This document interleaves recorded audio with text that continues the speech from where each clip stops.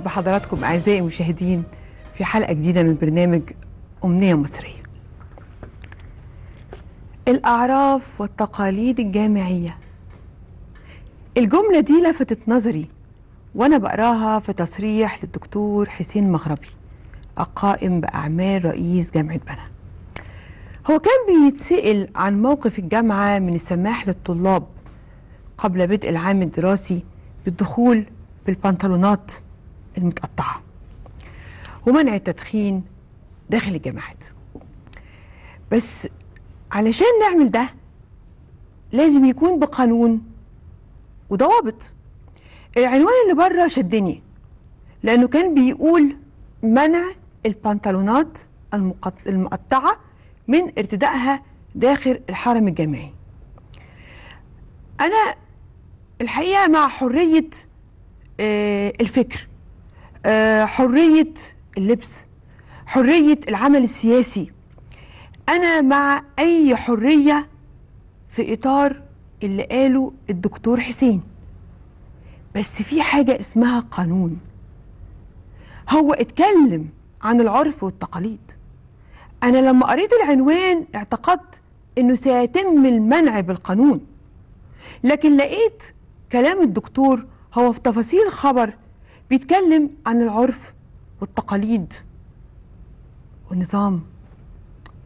أنا مع حريتك كطالب في إنك تاكل اللي أنت عايز تاكله تلبس اللي أنت عايز تلبسه تسمع المزيكا اللي أنت عايزها لكن ده كله بيكون داخل إطار. في الجامعات في حاجة اسمها code of conduct code of conduct يعني ده deal ما بين الطالب والجامعة بيمضي عليه الطالب. ال deal ده بيحط قوانين الطالب بيلتزم بيها. حصلت حدوتة في إحدى الجامعات الأجنبية. أنا كنت بعمل فيها.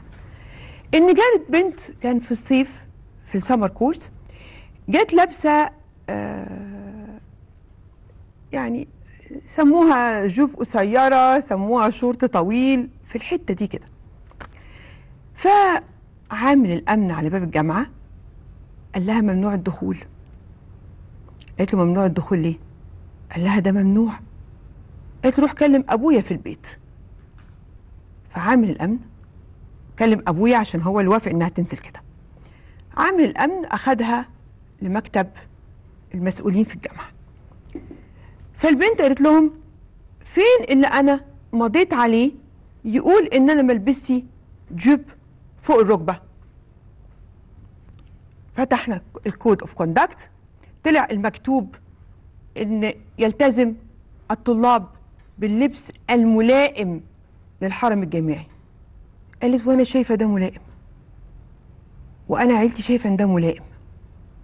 يبقى هنا إحنا عندنا مشكلة.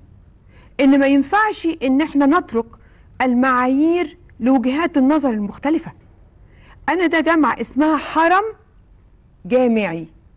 يبقى عايزين نطبق قانون على الأولاد يبقى القانون ده يكون مكتوب والأولاد يمضوه. لأن إحنا مش مش أنا مش مع إنهم يلبسوا زي ما إحنا عاوزين ونقول إيه البنطلون المقطع ده لابسينه ليه؟ لأن الحقيقة اللي بيقولوا كده هم في السبعينات. كانوا بيلبسوا البنطلونات شارلستون أو الإلفنت ليج وكان لونها الحقيقة كانت ديولين موضة وكان لونها آه، بامبا وأخضر وأحمر وكانت الرجالة بتطول شعرها وكل حاجة. فاللي بي النهارده اللي بينقضوا هم دول اللي في زمن يمكن كناش اتولدنا من سنين كانوا هم اللي بينقضوا الولاد. الولاد من حقهم. الشباب يبقى عندهم مساحة من إنهم يعملوا أي حاجة مختلفة شوية طالما ما بتضرش الآخر. لكن لما يجي حد الجامعات يبقى لازم ما اعتمدش على العرف والتقاليد لأن العرف والتقاليد للأسف بيتغير. يبقى بعتمد على النظام والقانون. ولازم يتكتب النظام والقانون ويعلن به الداخلين الجامعة. يا إما هيبة الجامعة هتروح. في إطار النظام والقانون إنك تحترم أستاذك وتحترم دراستك وتحترم زميلك أو زميلتك تحترم الموظف أو العامل اللي بيخدمك. ده مش هيفقد حد حريته بالعكس. ده هيخلينا كلنا نتعامل إن إحنا بنحترم كل شيء. وده هينعكس على حياتنا كلها سواء وإنتوا جوه الجامعة أو بعد الجامعة. العرف والتقاليد حاجة والنظام والقانون حاجة تانية. خلي بالك أنت لو رايح تركن عربيتك في شارعك وفي ذهنك الاحترام والتقاليد والعيب مش هتتخانق مع واحد ركن قبليك. لكن لازم يكون في كمان قانون بيقول إن المكان ده ممنوع نركن فيه. وممكن يكون كان مسموح نركن فيه السنة اللي فاتت. ما أقدرش أقف ضد القانون وأقول ما العرف كا- كان بيقول إن إحنا بنركن هنا كل مرة. لأ. القانون والنظام بيتغير. لو رحت محطة المترو تقطع تذكرة ولقيت طابور واقف ولازم تقف في دورك. يبقى انت بتتبع إيه؟ النظام. بعد شوية النظام ده من كتر ما هنعمله أتمنى يبقى ده العرف في حياتنا. قيس على كده بقى كل حاجة في حياتنا. كان زمان الزوجة والزوج كان كل حاجة بينهم ماشية بالإحترام. إنما اللي حصل إن العنوان ده بدأ يتلاشى. الإحترام والعرف والتقاليد بدأوا يختلفوا يختفوا. أكيد لو كانوا موجودين مش هنلاقي نسب الطلاق وصلت ل 40% سنويا. لو اللي راكب عربيته على الدائري على المحور عرف إنه مش ماشي لوحده وإن في احترام للقانون مش هنلاقي كم الحوادث اللي إحنا بنشوفها. لابد أن نحترم القانون. ما نطلبش من الطلبة والشباب يحترموا عرف وتقاليد. مفيش بيه قانون؟ وإحنا اللي بنطلب ده ما بنحترمش لا العرف ولا التقاليد. ولا حتى القانون. أمنية مصرية أنا بتمناها وبتمنى إن إحنا نعيش فيها. بتمنى إن إحنا نرجع تاني نعيش زي مصر زمان بالعرف والتقاليد والعادات وفوقهم القانون. ده اللي بتمناه لمصر.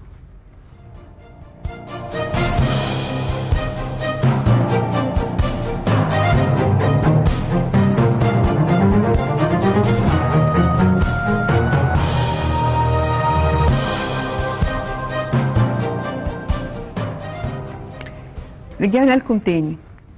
معنا خبر بيقول إن وزارة السياحة قررت عمل حملة ترويجية العام المقبل يعني 2019 إن شاء الله.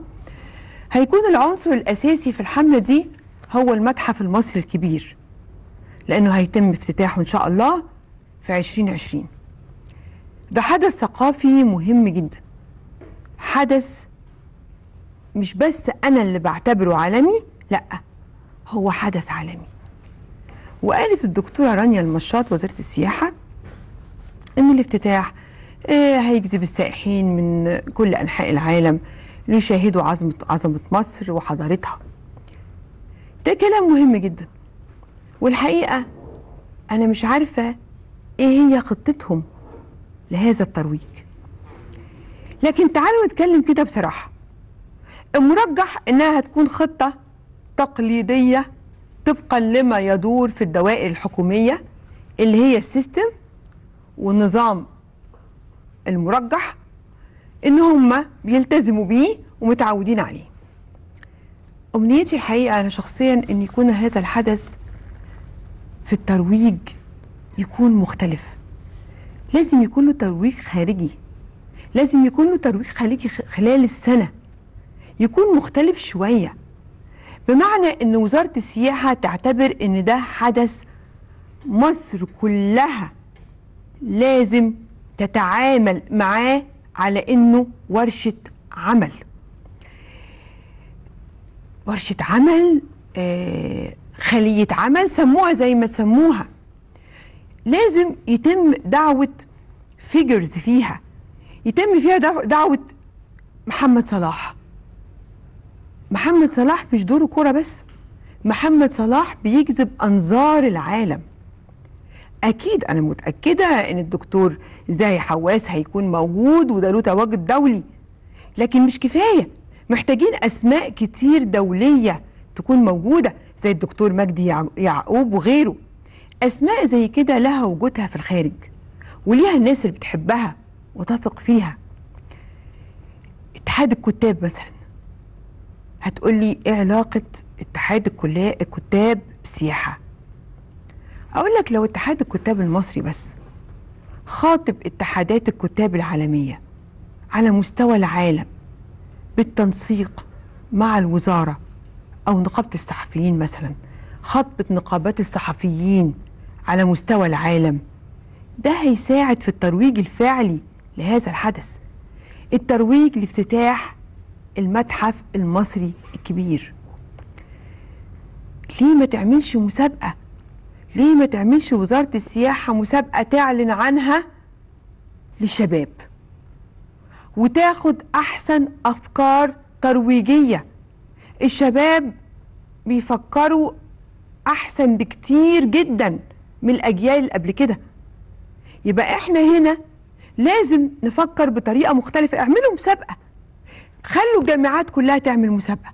اجبروا الجامعات تطلب من الشباب يعملوا مشاريع. ترويجية للمتحف. واختاروا منها حفزوا شبابنا واستفادوا. ممكن نعرف حاجات إحنا ما احناش عارفينها. الجاليات المصرية في الخارج. الجاليات المصرية في الخارج بتحب مصر قوي على فكرة. وبتبقى سعيدة جدا وفخورة قوي بأي حاجة جوه مصر. استعينوا بيهم. استعينوا بيهم يساعدوكم. في كل بلد عندنا جالية مصرية. خليهم يساعدونا. خليهم يدوا مقترحاتهم يتعاملوا مع وزارة السياحة مباشرة ويشوفوا إزاي يقدروا يروجوا لهذا الحدث بوقت كافي قبل الإعلان الحقيقي النهائي عن الافتتاح. دي الآثار.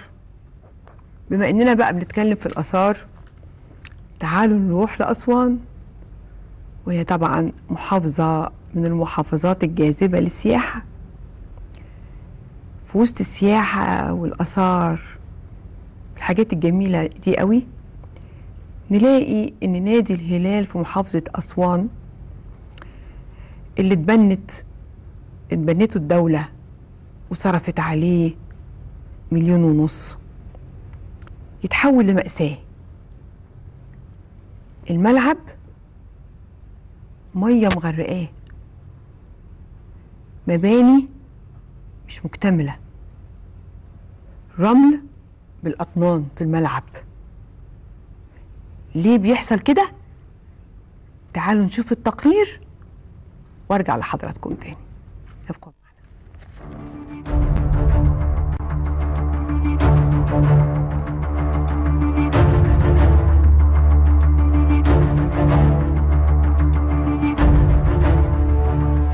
نادي الهلال مش من أقدم الأندية بتاعت أسوان. نادي الهلال أقدم نادي في أسوان. فدخل تطوير مع إن عهد سيادة الوزير العمري فاروق وسيادة الوزير حضر هنا وشد المسؤولين شدة جامدة عشان اللي شاف المنظر ده. راح تم آه، النادي دخوله في التطوير من سنة 2013 وإلى يومنا هذا مش ما استلمش. ما نعرفش إمتى تسليم النادي أو مرحلة التطوير هتنتهي إمتى؟ والمصيبة الأكبر كان ما فيش سور. وتم فرش ملعب الملعب النجيله الخضراء فرشها قبل ما تعمل سور. لا مؤاخذة بيجي رعاة غنم يجوا هنا يعملوا. زي ما أنت شايف سيادتك بيجي صحراء جرداء. لما يتكلم يقول لك مصروف عليه مليون ونص. يعني اللي أنا شايفه ده ما فيش حاجة صرفت عليه. المشكلة صراحة شركة منفذة مع مدير شباب الرياضة. انت عامل مع مين إحنا؟ مش عارفين. نروح لمدير شباب الرياضه أستاذ هاني وكيل وزارة يقول له لا؟ مشكلتكم مع شركة منفذة. نروح للشركة لا أنتوا آه، أستاذ هاني. استلموا الملعب الخماسي استلام ابتدائي. طيب استلمنا الملعب. هتصلحوا لنا الملعب ده؟ آه هن. طيب إمتى؟ الله أعلم. الكلام ده على فكرة سعادتك من 2013 خمس سنين. يعني خمس سنين. خمس سنين مش قاعدين يعملوا ملعب كورة. من أيام عمرو فاروق. وزير الشباب والرياضه شوف إحنا في سنة كام؟ 2018 ثلاث وزراء أربع وزراء عدوا على ال- بتاع حرام يعني الصراحة. حرام حرام اللي بيحصل فينا. النهارده أنا جاي ببص على النادي زي ما حضرتك شايف يعني حاجة تحزن. حاجة. مفيش مفيش حاجة يعني مفيش حاجة تشجعك إنك أنت ممكن تجيب لعيبة. إنك أنت ممكن تعمل حصة تدريبية هنا. مفيش طب ليه؟ إحنا ليه نستنى لحد ما الأمر يوصل بهذا الشكل؟ طب يعني وأنا ليا كلمة صغيرة يعني إذا كان على لعيبة اللعيبة موجودة. إذا كان على الكورة الكورة موجودة. ولكن الأجيال الأجيال اللي هي ممكن تروح بره يقعد على قهوة يتوجه لطرق تانية يتوجه لطرق تانية وبعد كده نيجي نقول والله يا ريت اللي جرى مكان. طبعا ما فيش أمن ولا في حراسة. تمام؟ إحنا عايزين الحراسه وعايزين الأمن والأمان لأن النهارده ولدي في المدرسة أما يطلع بتاع يلعب كورة أنا افرح له. تمام؟ وافرح لكل شاب صغير طالع أحسن ما يروح يشرب سجاير ويروح يشرب مخدرات وينحرف. إيه، الرياضة تبغى تمشي في بدن واللياقة تمشي في بدن بتاعت الرياضة. أنت شايف الأرض عاملة إزاي؟ دي مش أرض أصلا كورة. وملعب يعني فين؟ ملعب كور وأي حاجة يعني. شايفين برضو حاجة جديدة كده بتتعمل. نادي يعني شايف أنا عيال صغيرة بتيجي بتخش بتكسر بيبان بيخشوا بيبوظوا خزانات بيخشوا بيعملوا أي حاجة. مش شايفين حاجة جديدة تعمل كورة مدربين أي حاجة. بلعب عادي هنا في النادي وكده. بس إيه يعني الأرضية مش مناسبة للعب يعني هنا. رحت وقعت على دراعي وقعة بسيطة رحت اتكسرت. المشكلة إن هي بقت وقت وقت مخدرات يعني ما بقاش نادي كلعب ورياضة وكده. آه. ما بقاش أي حاجة بالغير إن هي وقت مخدرات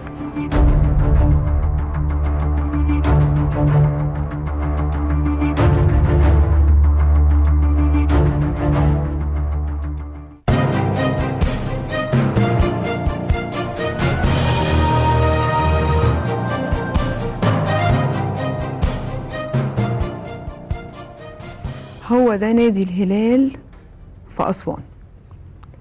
إحنا معانا مداخلة معانا المهندس هشام عادل رئيس مجلس إدارة نادي الهلال بأسوان.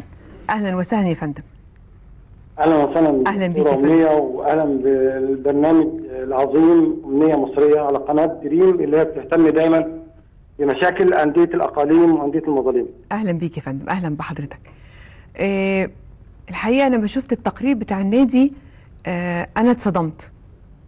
هو إزاي الحالة وصلت لهذا آه المستوى المنحدر يا فندم آه، في البداية آه، دكتورة امنيه نادي الهلال بأسوان هو أقدم نادي في محافظة أسوان، نادي أنشئ عام 43 بعد استقرار الأوضاع في النوبة القديمة والهجرات الثلاث اللي تمت بعد بناء خزان أسوان وتعلياته الأولى والثانية. أيوه تم تسميته نادي الهلال بالنسبة لنادي هلال السودان.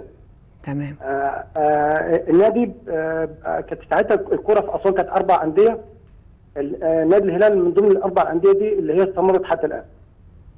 أحب أقول لحضرتك إن إن الملعب اللي أنت حضرتك شفتيه ده أنشئ سنة 79 أيوه. من سنة 79 حتى قدوم الوزير السابق عمرو فاروق ما فيش أي حاجة اتعمل في الملعب. لما لما سيادة الوزير عمرو فاروق زارنا في يناير 2012 سيادته أمر بإنشاء ملعب. وسور وشبكة ري وصرف واضاءه للأسف الإنشاءات تمت بشكل عشوائي. بمعنى آه، اللي أنا أعرفه إن أنا عشان أعمل ملعب لا أنا اسمح لي حضرتك. شكل نعم. عشوائي إيه؟ في نادي له مخطط وله بلان. مفروض عشوائي إزاي؟ يعني هو مين اللي بنى؟ هو اللي بنى السكان عشان يبقى عشوائي ولا اللي بنى المسؤولين عن البناء؟ للأسف الوزارة هي اللي بنت. للأسف يبقى الوزارة. عن طريق الإنشاء الجهة الإدارية لشباب الرياضة آه، هي اللي بنت. يعني حضرتك بتقول إن وزارة الشباب والرياضة بنت النادي بشكل عشوائي بما يخالف طبعاً. المخطط ال- الأساسي له؟ طبعا طبعا يا فندم. أنا عشان يعملوا لي نجيلة في عدم وجود سور وإحنا نبهناهم. نجيلة في أرض في أرض فاضية زي كده هتعرضها انها للتلف ده بيعتبر إهدار مال عام كانت الحجة أنتوا أنتوا هتستلموا ملعب. اعملوا لنا طب السور الأول بعد كده اعملوا. ده التسلسل الطبيعي. ده التسلسل. أنا أنا مهندس شركة المية وأعرف الكلام يعني هم عاملين الملعب من غير سور. طبعا في البداية عشان كده الكلاب موجودة. طبعا. عم- عملوا لنا عملوا لنا نجيلة بدون سور. ملعب نبهناهم للكلاب. للحته دي. آه آه نبهناهم للنقطة دي. إزاي هتعمل نجيلة بدون سور؟ يقول لك لا إحنا هنعمل كل شيء في وقته. وأنتم ما لكمش غير إنكم تستلموا طيب كلام آه مشي مشيت الأيام مرت وعملوا النجيلة والنجيلة باظت وبعد كده عملوا لنا سور. ترميم وليس إنشاء جديد. ايا. كان. بس ما يجراش حاجة. في الوقت اللي نعم. ما يجراش حاجة. مهم في سور. ماشي هو عملوا لنا السور في الوقت اللي, اللي ضاعت فيه النجيلة لأنه عملوا النجيلة الأول بداوا بدأوا يعني حطوا البتاع قبل يعني المثل اللي هم دايما بيتقال يعني كده.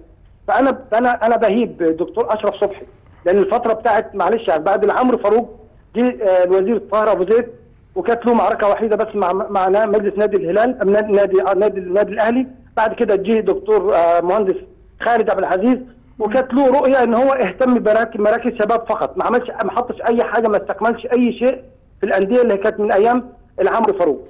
مع حفظ الألقاب طبعا. الدكتور أشرف صبحي دلوقتي حاليا كان في مكتب المكتب الفني ل آه، سيادة ال- الوزير عمرو فاروق. فأنا فأنا بناشده يا ريت حضرتك بص نظرة لأندية الأقاليم اللي هي بتعاني آه، من آه، إحنا إحنا عندنا يا فندم إحنا أكاديمية كورة وفي مدرسة كورة وفي فرق ناشئين. وفي فريق أول بيلعب في القسم الثالث. ف... ف... إحنا كل كل المنظومة دي بنأجر ملاعب. بنأجر ملاعب وبنلعب مباريات خارج خارج خارج الملعب. أشكرك يا باشمهندس. كل- أشكرك. أشكرك يا باشمهندس. أشكرك. الصورة واضحة أهي. طيب آه معانا دكتور هاني رشدي وكيل وزارة الشباب والرياضة بأسوان. ألو؟ في مشكلة في تليفون نتكلم تاني. أنا مش عارفة هو بيحصل كده ليه. وبنرجع نشتكي إن الشباب شباب بايظ. ما هو بيبوظ ليه؟ بيبوظ من الفراغ. بيبوظ إنه بيعملش حاجة. بيبوظ بالوقت.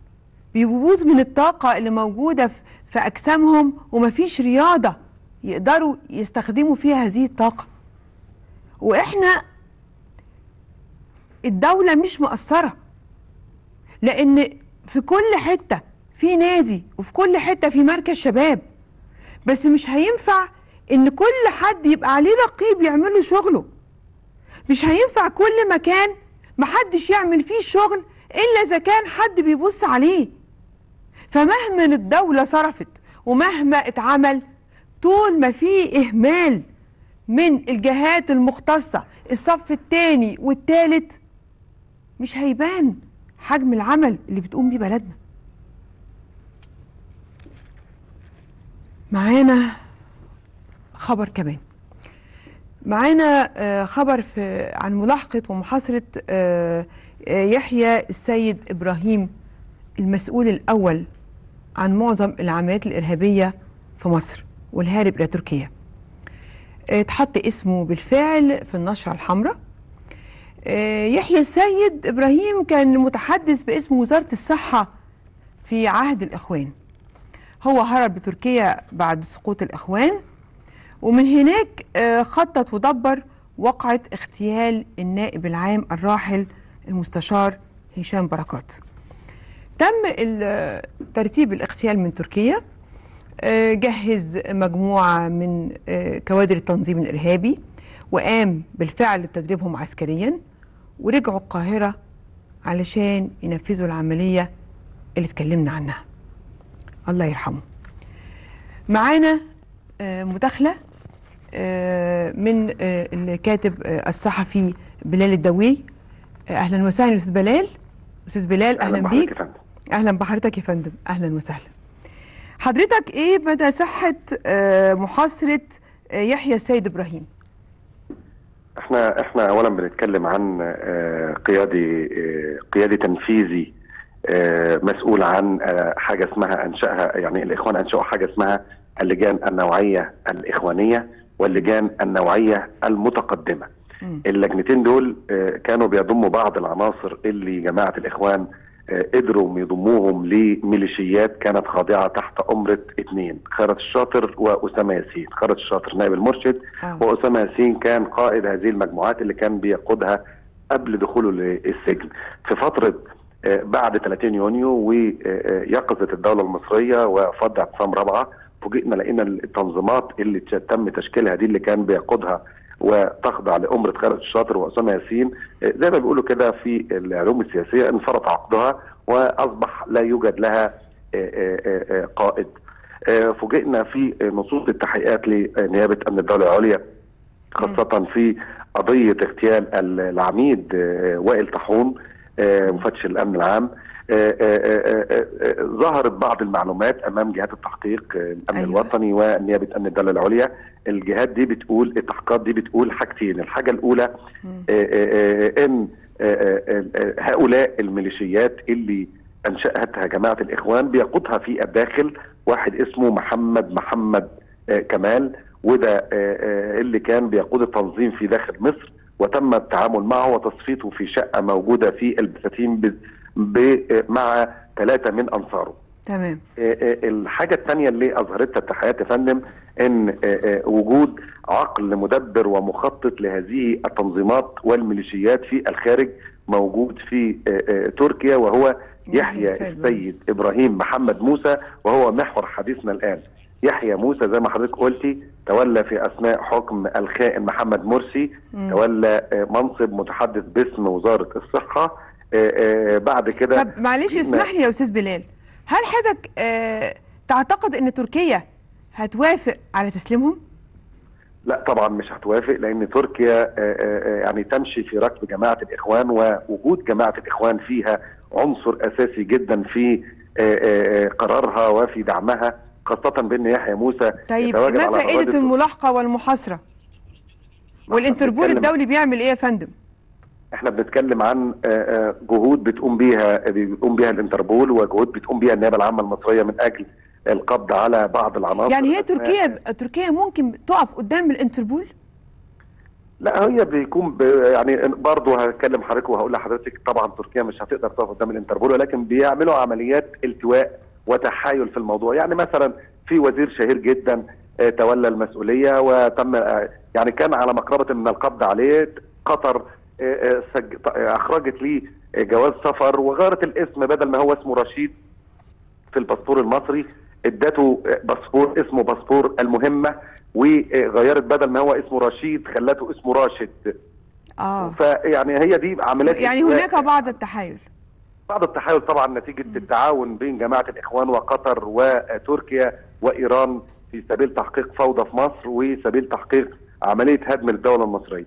التحقيقات اللي بتقوم بها النيابة العامة المشكورة النيابة العامة اللي بيقودها نيابة أمن الدولة العليا واللي بياخدها المستشار المحترم اللي ربنا يقويه خالد ضياء الدين أيوة. بتبرز كل التخطيطات والط- واللي بيقوم بيها يحيى موسى اللي إحنا بنتكلم عنه يحيى موسى كان الولاد اعترفوا وتم تنفيذ العملية قاموا بتنفيذ العملية وصوروها يعني هم اعترفوا أمام النيابة وتم تصوير الاعترافات دي في ال- الأماكن اللي في شارع عمار بن ياسر في مصر الجديدة أيوة. والولاد قالوا الولاد قالوا إن إحنا كنا بعض بعضهم كان منتمي إلى كلية إحدى كليات جامعة الأزهر وتعرفوا على بعض في- رابعة وحصلوا على شقة بتمويل من يحيى موسى من تركيا ويحيى موسى قال لهم أنا هدربكم عن طريق بعض الميليشيات التابعة لينا في إحدى الدول المجاورة وتم تدريبهم يحيى موسى مدهم بالسلاح فشلت العملية قبلها بيوم يوم 28 لو نفتكر يوم 28 آه، آه،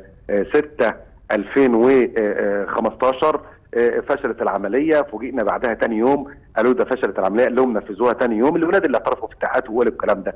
تاني يوم بعد ما تم تنفيذ العملية أول مكالمة تليفونية قام بيها الجناه والمتهمين اللي ما بقوش متهمين طبعا اللي بقوا المنفذين. للعمليه نتيجة حصولهم على آه، آه، أحكام قضائية في هذا الأمر وتحولهم آه، آه، آه، للنيابة خلاص اخذوا أحكام. الولاد قالوا إن إحنا أول مكالمة تليفونية صدرت مننا كانت مكالمة إلى تركيا.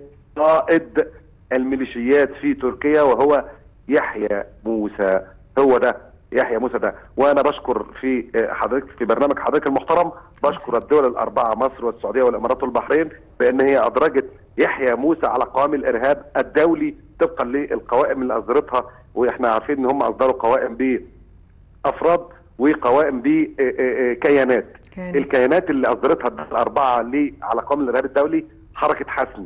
الكيانات اللي أنا بقول لحضرتك دي الكيان اللي أنا أحكي عليه ده حركة حسم اللي كان بيقوده في الخارج يحيى موسى بالتعاون مع جمال حشمت وكان بيقوده في الداخل محمد كمال. الكيان ده اسمه حركة حسم. حركة أيوة. حسم أدرجت على قوام الإرهاب تم القبض على أكثر من 70% من عناصرها. حركة حسم تورطت في أحداث كنيز كن- آه، تدمير بعض الكنائس في والاعتداء على بعض الكنائس في مصر والاعتداء على بعض الكمائن آه، آه، آه، واغتيال محاولة اغتيال آه، الدكتور علي جمعة ومحاولة اغتيال آه، ال- ال- معالي المستشار زكريا عبد العزيز النائب العام المساعد وبعض الكمائن في مدينة مصر والاعتداء على نادي الضباط في دمياط العمليات دي كلها كان بيقودها اثنين في مصر أيوة. آه، آه، مجموعة من الميليشيات الميليشيات اللي إحنا بنتكلم عليها دي بيقودها اثنين في مصر زي ما أنا قلت محمد أيوة. كمال في الداخل مصر ويحيى موسى هذا الارهاب الخطير المدرج على والحمد قوام لله. تم إدراكه وتم ادراجه وهناك بعض المحاولات للوصول إلى بعض العناصر ال- ال- ال- القليلة التي ما زالت هاربة مثل علاء علي السماحي وهو الذي يقوم بالحصول على حلقه الصلة بين حركة حسم في الداخل أيوة. ويحيى موسى وطبعا ده مدرج برضه على قوام الإرهاب. إحنا إحنا إحنا بنقول إن جهاز الأمن المصري تعافى الأمن الوطني الأمن الوطني وضع إيده على جميع خي- خيوط إيه ال ال ال ال ال الخيوط اللي بترتبط بالتنظيمات والميليشيات دي كلها. بنقول إن تعاون أخوة أشقاء في دولة الإمارات والسعودية والبحرين مع مصر من أجل مكافحة الإرهاب. هو ده بقى مكافحة الإرهاب. هتيجي نقول مكافحة الإرهاب إزاي؟ لازم عشان اكافح الإرهاب لازم آه، آه، أطارد ال ال القيادات لازم آه، آه، واحصل عليهم واقدم لهم النيابه لازم أقفل حنفيات وهو ده فعلا اللي بتيجي من قطر واللي. بتيجي من تركيا. أشكرك. أشكرك يا أستاذ بلال جدا الكاتب الصحفي بلال الدوي. ألف شكر لحضرتك. إحنا بدأنا مشوار. خلص منه كتير. وباقي فيه شوية صغيرين. مشوار الإرهاب ده قرب ينتهي. نطلع فاصل ونرجع لكم مرة تانية. ابقوا معنا. رجعنا لحضراتكم مرة تانية في أول فقراتنا في برنامج أمنية مصرية النهاردة. الإنسان أي إنسان مهما كان شأنه ومهما كان وضعه مهما كان سنه يقدر يتنازل عن حاجات كتير قوي في حياته. يقدر ما يروحش مصيف يقدر ما يركبش تاكسي يقدر يستغنى عن أكل ممكن ما يشربش حاجات غالية لكنه لما يروح لدكتور ويكتب له روشته الدواء ما يقدرش ما يجيبهاش. الدواء للبشر هو الراحة من الألم. وهو في إيه أصعب من الألم ممكن يواجهنا؟ أوقات بيبقى الموت أرحم من الألم. وإحنا بنبقى شاعرين إن الألم هو مواجهة للموت. فالإنسان بيعتقد إنه لما بياخد علاج بياخده علشان ما يموتش. لأن الألم في تفكيرنا وعقيدتنا هو الطريق للموت. أنا شايفة إن أهم صناعة يجب أن نشغل بيها بالنا وتاخد جانب كبير كبير من تركيزنا هي صناعة الدواء. صناعة الدواء موضوع مش بسيط. ده موضوع حياة أو موت. اتكلمنا كتير جدا فيه إحنا وغيرنا. لكن في حاجات كتير ما اتحلتش وحاجات أكتر محتاجين نلقي الضوء عليها. علشان كده بنناقش النهارده في حلقتنا الموضوع صناعة الدواء في مصر ومعانا فقرتنا الأستاذ الدكتور نبيل محيي عميد كل آه، ونبيل محيي عميد كلية الصيدلة سابقا وعضو مجلس علماء مصر. أهلا يا دكتور. أهلا بحضرتك. شرفنا الدكتور علي عوف رئيس شعبة الأدوية باتحاد الغرف التجارية. أهلا أهلا يا فندم. أهلا بحضرتك. هبدأ مع حضرتك يا دكتور علي. الفترة اللي فاتت طلع على الفيسبوك آه تحذيرات وتنبيهات كتير جدا إن في أدوية بتسبب الوفاة. وإن المضاد الحيوي الفلاني تسبب في وفاة أكتر من حد وإن الدواء الفلاني ده دواء مغشوش ويؤدي إلى الوفاة.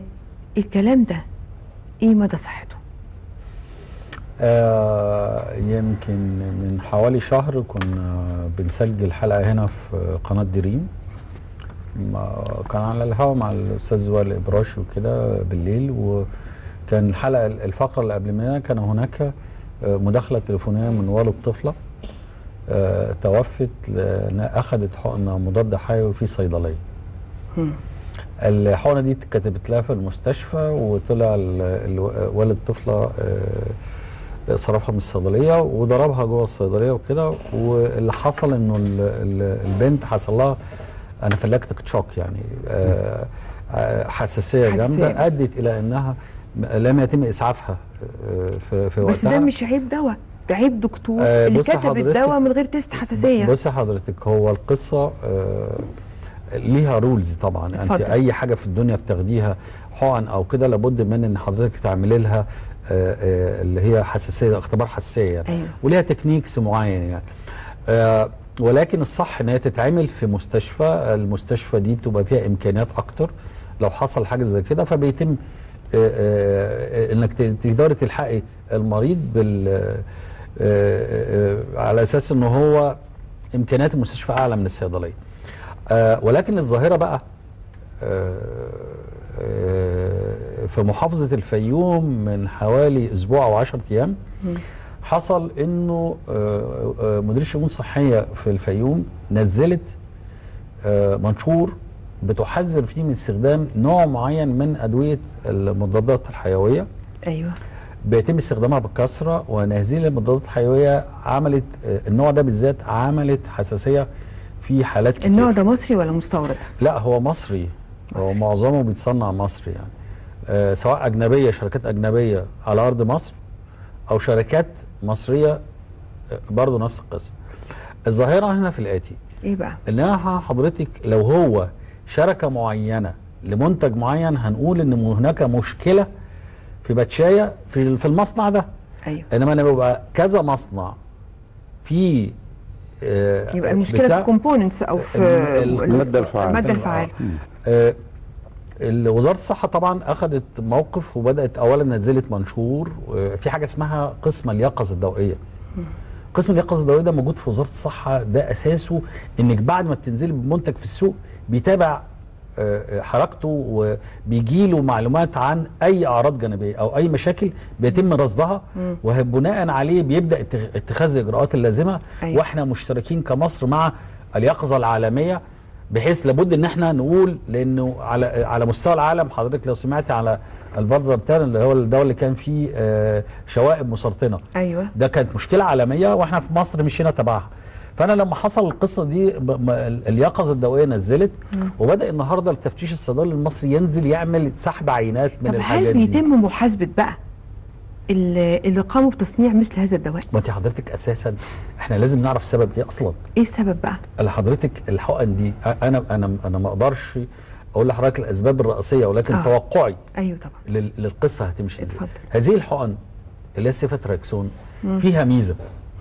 أنها بتتاخد مرة واحدة في اليوم. كل 24 ساعة. كويس. فالأم أو الحالة اللي بدل ما تتضرب مرتين أو ثلاثة في اليوم رايحة جاية على ضرب حقن تقول لك شكة واحدة. كويس؟ فاطباء كتير بيحب يدوها. ولكن من كتر استخدامها هناك بعض الناس معدوم الضمير بيغشوها. لما تلاقي ظاهرة باكتر من شركة ممكن تكون أنا أنا بقول لحضرتك توقع. آه توقع. ولكن لسه في هناك تحاليل وهناك عينات هتتسحب والحاجات دي كلها هتشوف قصتها إيه. الصح في المنظومة كلها هو ان يطلع منشور. التنبيه على جميع صيدل- صيدلية مصر. حماية للصيادلة وحماية للعيانين. ممنوع شراء أي حقن من الضدات الحيويه إلا من مصانعها. آه. ما يتم الشراء من أي مصدر في أي حتة إلا من المصانع. بتاعتها. فقط لا غير. منعا للغش الطبيعي. ويبقى في فواتير موجودة مع كل صيدليه إن الحقن دي موجودة من الشركة الفلانية. لأنه أقدر كده أحمي كل بتاع لأن الصيدلي ما بيبقاش عارف ده لما بيجي له الحقن دي بي خلاص حقن شكل العلبة بالظبط بالظبط. بس إيه جوه الحقن؟ محدش عارف. وبالتالي الظاهرة دي لابد إن إحنا علشان نعالجها من تيجي من. هنا. تيجي إن أنا من الأول أأمن كل منتج لأن في الآخر المريض هياخدها منين؟ من صيدلية. فأنا أأمن اللي داخل الصيدلية. يبقى أنا حميت الصيدلي أيوة. وحمايه المريض إن أنا اخدها الحقن بالذات. واخد بال حضرتك اشكرك يا فندم. دكتور نبيل حضرتك ذكرت دلوقتي كلمة المادة الفعالة. نعم. فأنا مستوقفاني شوية. هكلم حضرتك بلغة آه، الشارع. الأدوية ما بقتش تخفف زي الأول. يعني نبقى قاعدين كده آه، حد عنده صداع متعود إنه بياخد قرص معين من دواء معين. يقول لك ما بقاش زي الأول. ده دلوقتي باخد حبايتين وثلاثه وما بيعملش الأثر الأولاني. فعلى مستوى الناس. بنعتقد إن أكيد المادة الفعالة اللي جوه الدواء تم تقليلها. يا إما علشان ما يرتفعش سعر الدواء بمستوى عالي أو لزيادة المكسب.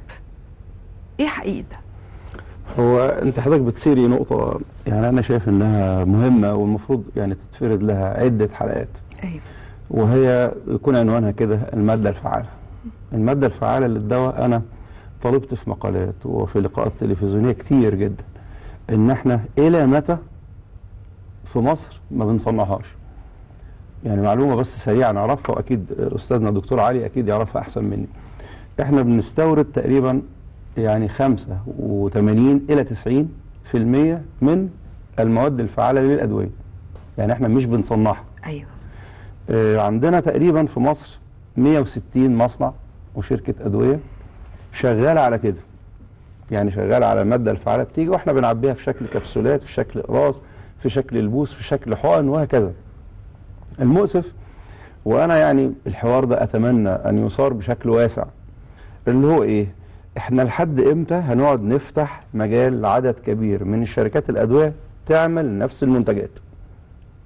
يعني زي إيه مثلا؟ ما أعرفش أنا مش حابب أقول أسماء أيوه يعني هي حضرتك تجارية. قول لي الفكرة يعني. ولكن مثلا آه. في مسكن من المسكنات المشهورة مثلا هم يعني ربما يكون عاملين قاعدة إن لا يتجاوز عد عدد المنتجات لنفس المادة الفعاله 12 مش كده؟ 12 12 م... للأسف أنت بتخلي الشركات تحط رأس مال هائل في صنف واحد ليه؟ بتخلي الصيدلي اللي لسه فاتح جديد أنا مطلوب مني لو أنا أنا كنت فاتح صيدليه وقفلتها بالمناسبة يعني. عايزة رأس مال كبير جدا وإدارة موال أزرق يعني بصراحة أيوه طبعا وأنا شايف سببه ال... مش عارف مش عايز أسميها فوضى لكن على الأقل يعني التسيب أو الإنسياب المبالغ فيه إن أنا أخلي نفس الش... نفس المنتج ينتج 12 مرة. ليه؟ أنا مش فاهم ليه برضو كل القصة إن طب ما شركة ربما الاحتياج السوقي يا فندم. اطلاقا. اطلاقا. الدليل على ذلك والدكتور علي أكيد هيقول لحضرتك إحنا عندنا أدوية في الصيدليات بالكراتين بينتهي مفعولها وبتترمي. يا الشركة بتاخدها يا بتترمي. طب هو ممكن حد ينتج حاجة ومفيش احتياج لها في السوق ويقرر مع الإنتاج؟ الأسف. وهذه حقيقة. طب السبب في إيه؟ آه هذه حقيقة. بيعمل ده ليه أنا مثلا قررت إن أنا أفتح مصنع أدوية. أيوه. أنا أرى إن وزارة الصحة ما تديش موافقة لأي حد عايز يعمل مصنع أدوية إلا في حالة مهمة جدا.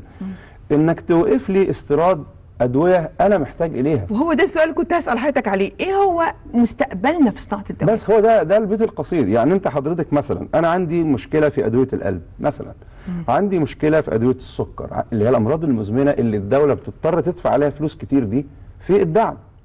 طيب أنت هتفتح شركة أدوية هتكرر لي نفس المنتجات اللي مالية السوق إيه إللي دستور جديد.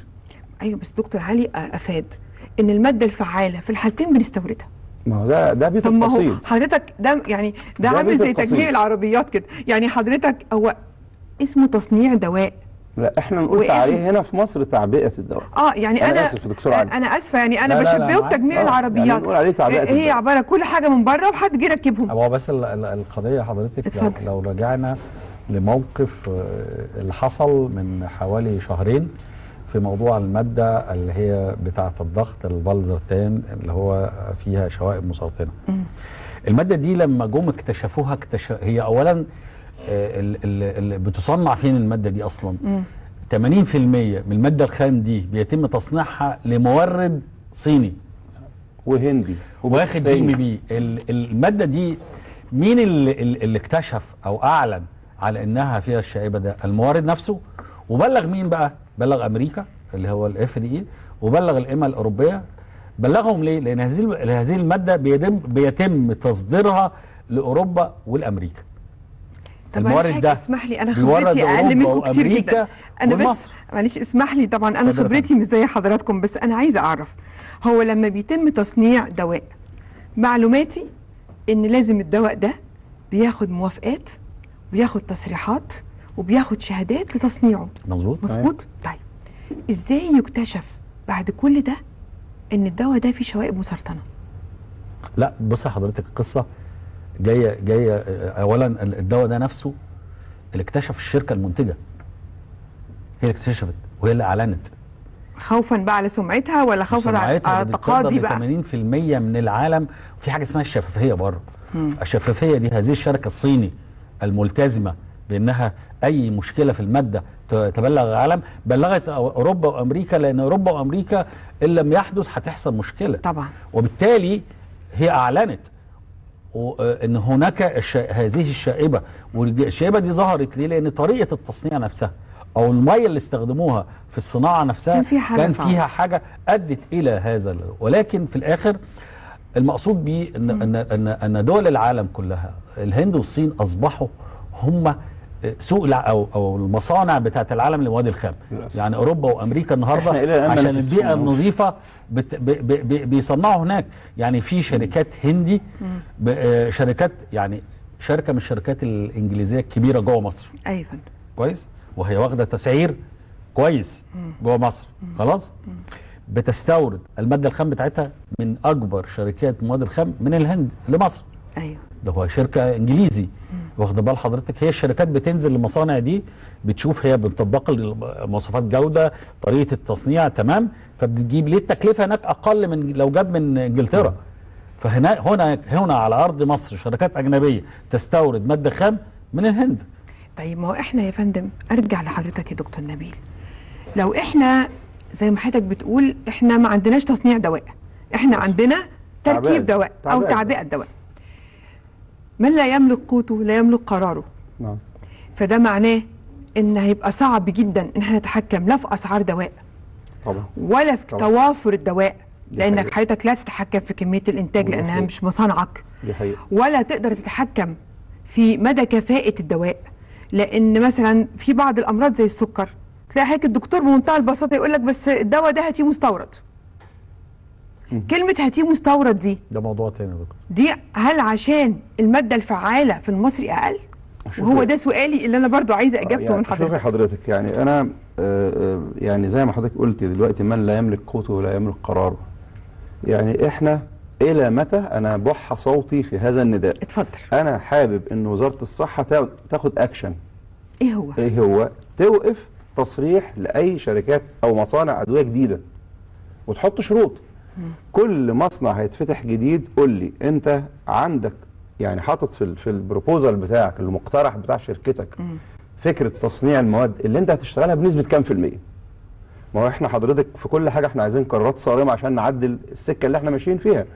وأنا حتى بالمناسبة يعني في وجودي في في وجود أستاذنا وحبيبنا الدكتور علي بيه يعني أنا اديت محاضرة في العراق مرة على التجربة المصرية في الصناعات الدوائية.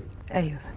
المؤسف إن ال- ال- الغرف الغرفة التجارية وغرفة صناعة الدواء يعني وأرجو إن يكون ده اتصحح الكلام اللي أنا بقوله ده بقاله 3 4 سنين أنا دخت السبع دخات علشان أجيب داتا يعني أنا عايز وأنا خارج بره هدي محاضرة أعمل دعاية لتصنيع الدواء في بلدنا؟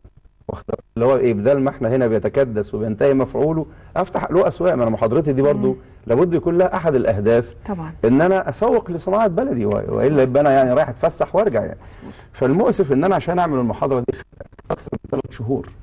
مش قادر أجيب داتا من على أي موقع يقول لي مصر مثلا الشركة الفلانية تاريخ إنشائها كان سنة كام. بالمناسبة مصر من أقدم الدول التي صنعت الدواء في التاريخ.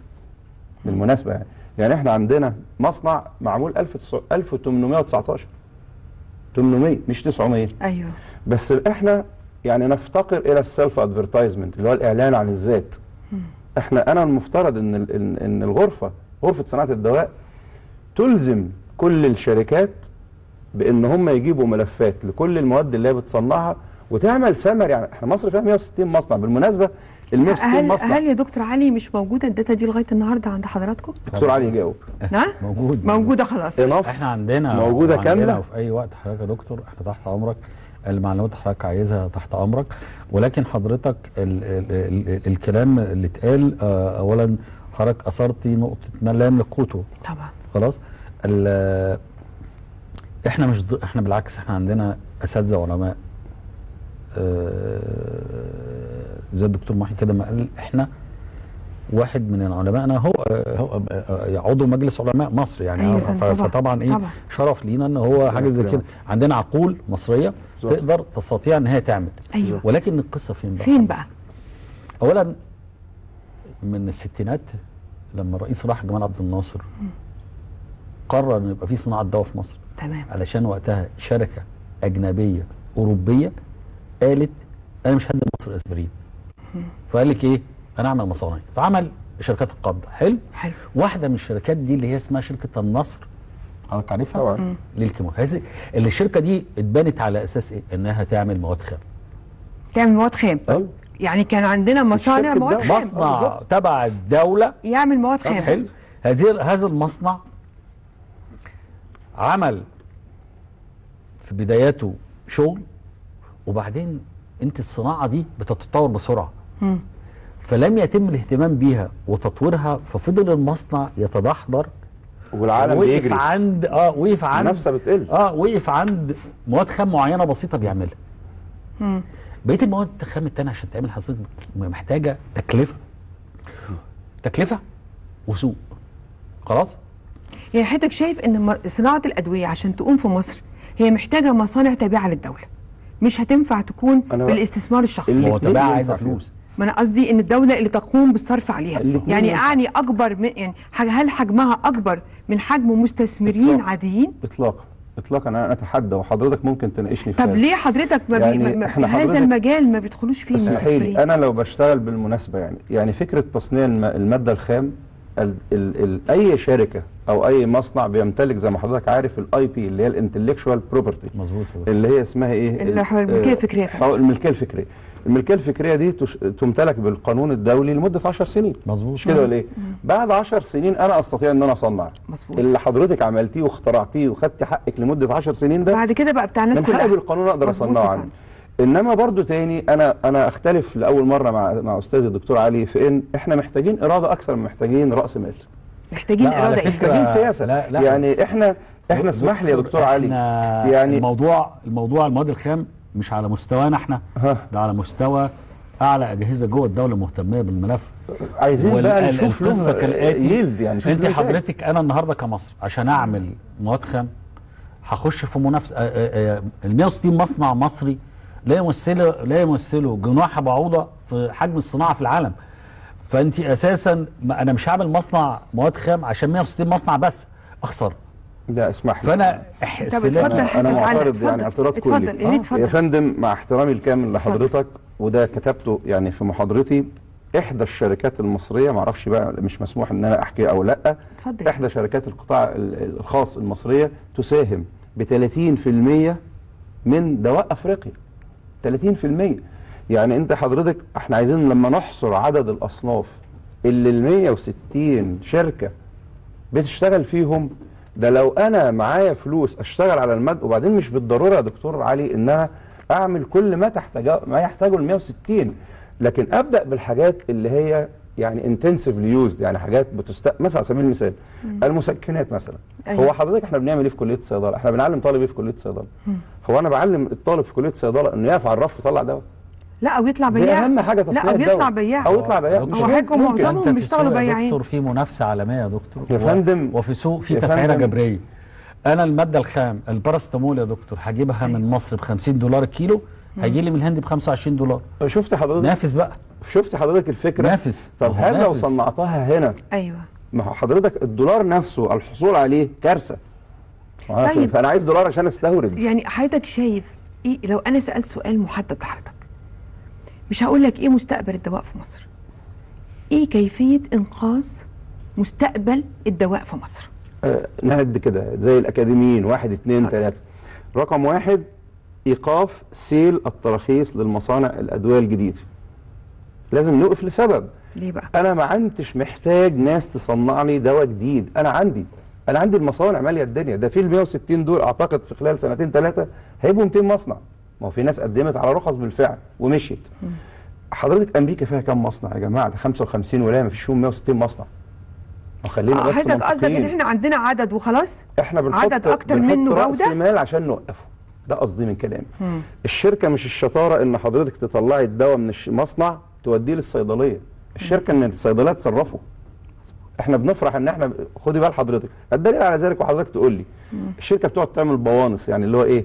لو خدت 100 هديك عليهم عليهم 20 20 بره مش عارف إيه. ده, ده ليه؟ يا ترى ده ليه؟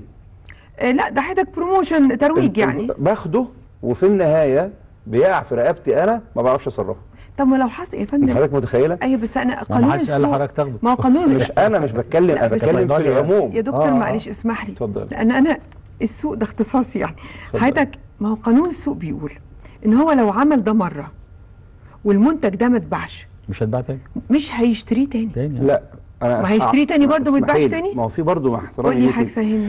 الحوار أعقد أنت حضرتك بتتكلمي على موضوع أبيض شوية بس آه مش دي الحقيقة هو مش أبيض أنا عايزة. الحقيقة من حضرتك يعني بكل أسف هناك بعض المنتجات ودكتور علي يقول لي لا إن ده ما بيحصلش بعض المنتجات تتبنى الشركة توزيعها بطرق مختلفة عن طريق الأطباء وأكيد آه. حضرتك عارف هذا الكلام كويس هو جدا اللي, هي يعني في أطباء يصمم على منتج مصري آه. واخدة بال آه، فهمت حضرتك قصد حضرتك. وأكيد آه. فاهمة حضرتك أنا أقصد إيه آه حضرتك لا. هنقول للمشاهدين حضرتك تقصد إن الأطباء في بعض الأطباء. خد الدواء ده ما تاخدش بيقولوا. خد الدواء ده وما ما تاخدش ده لأن؟ عنده مكسب معين من الدواء. مظبوط ولا أنا غلطانه مش تقصد كده عايزين نقول حضرتك كده في تحيز الإعلام. غير عادي التحيز الغير منطقي والغير علمي سبب أساسي في من وجهة نظري أنا في تخريب جزء كبير من الصناعة المصرية. لسبب أنا صيدلي عندي أجزخان.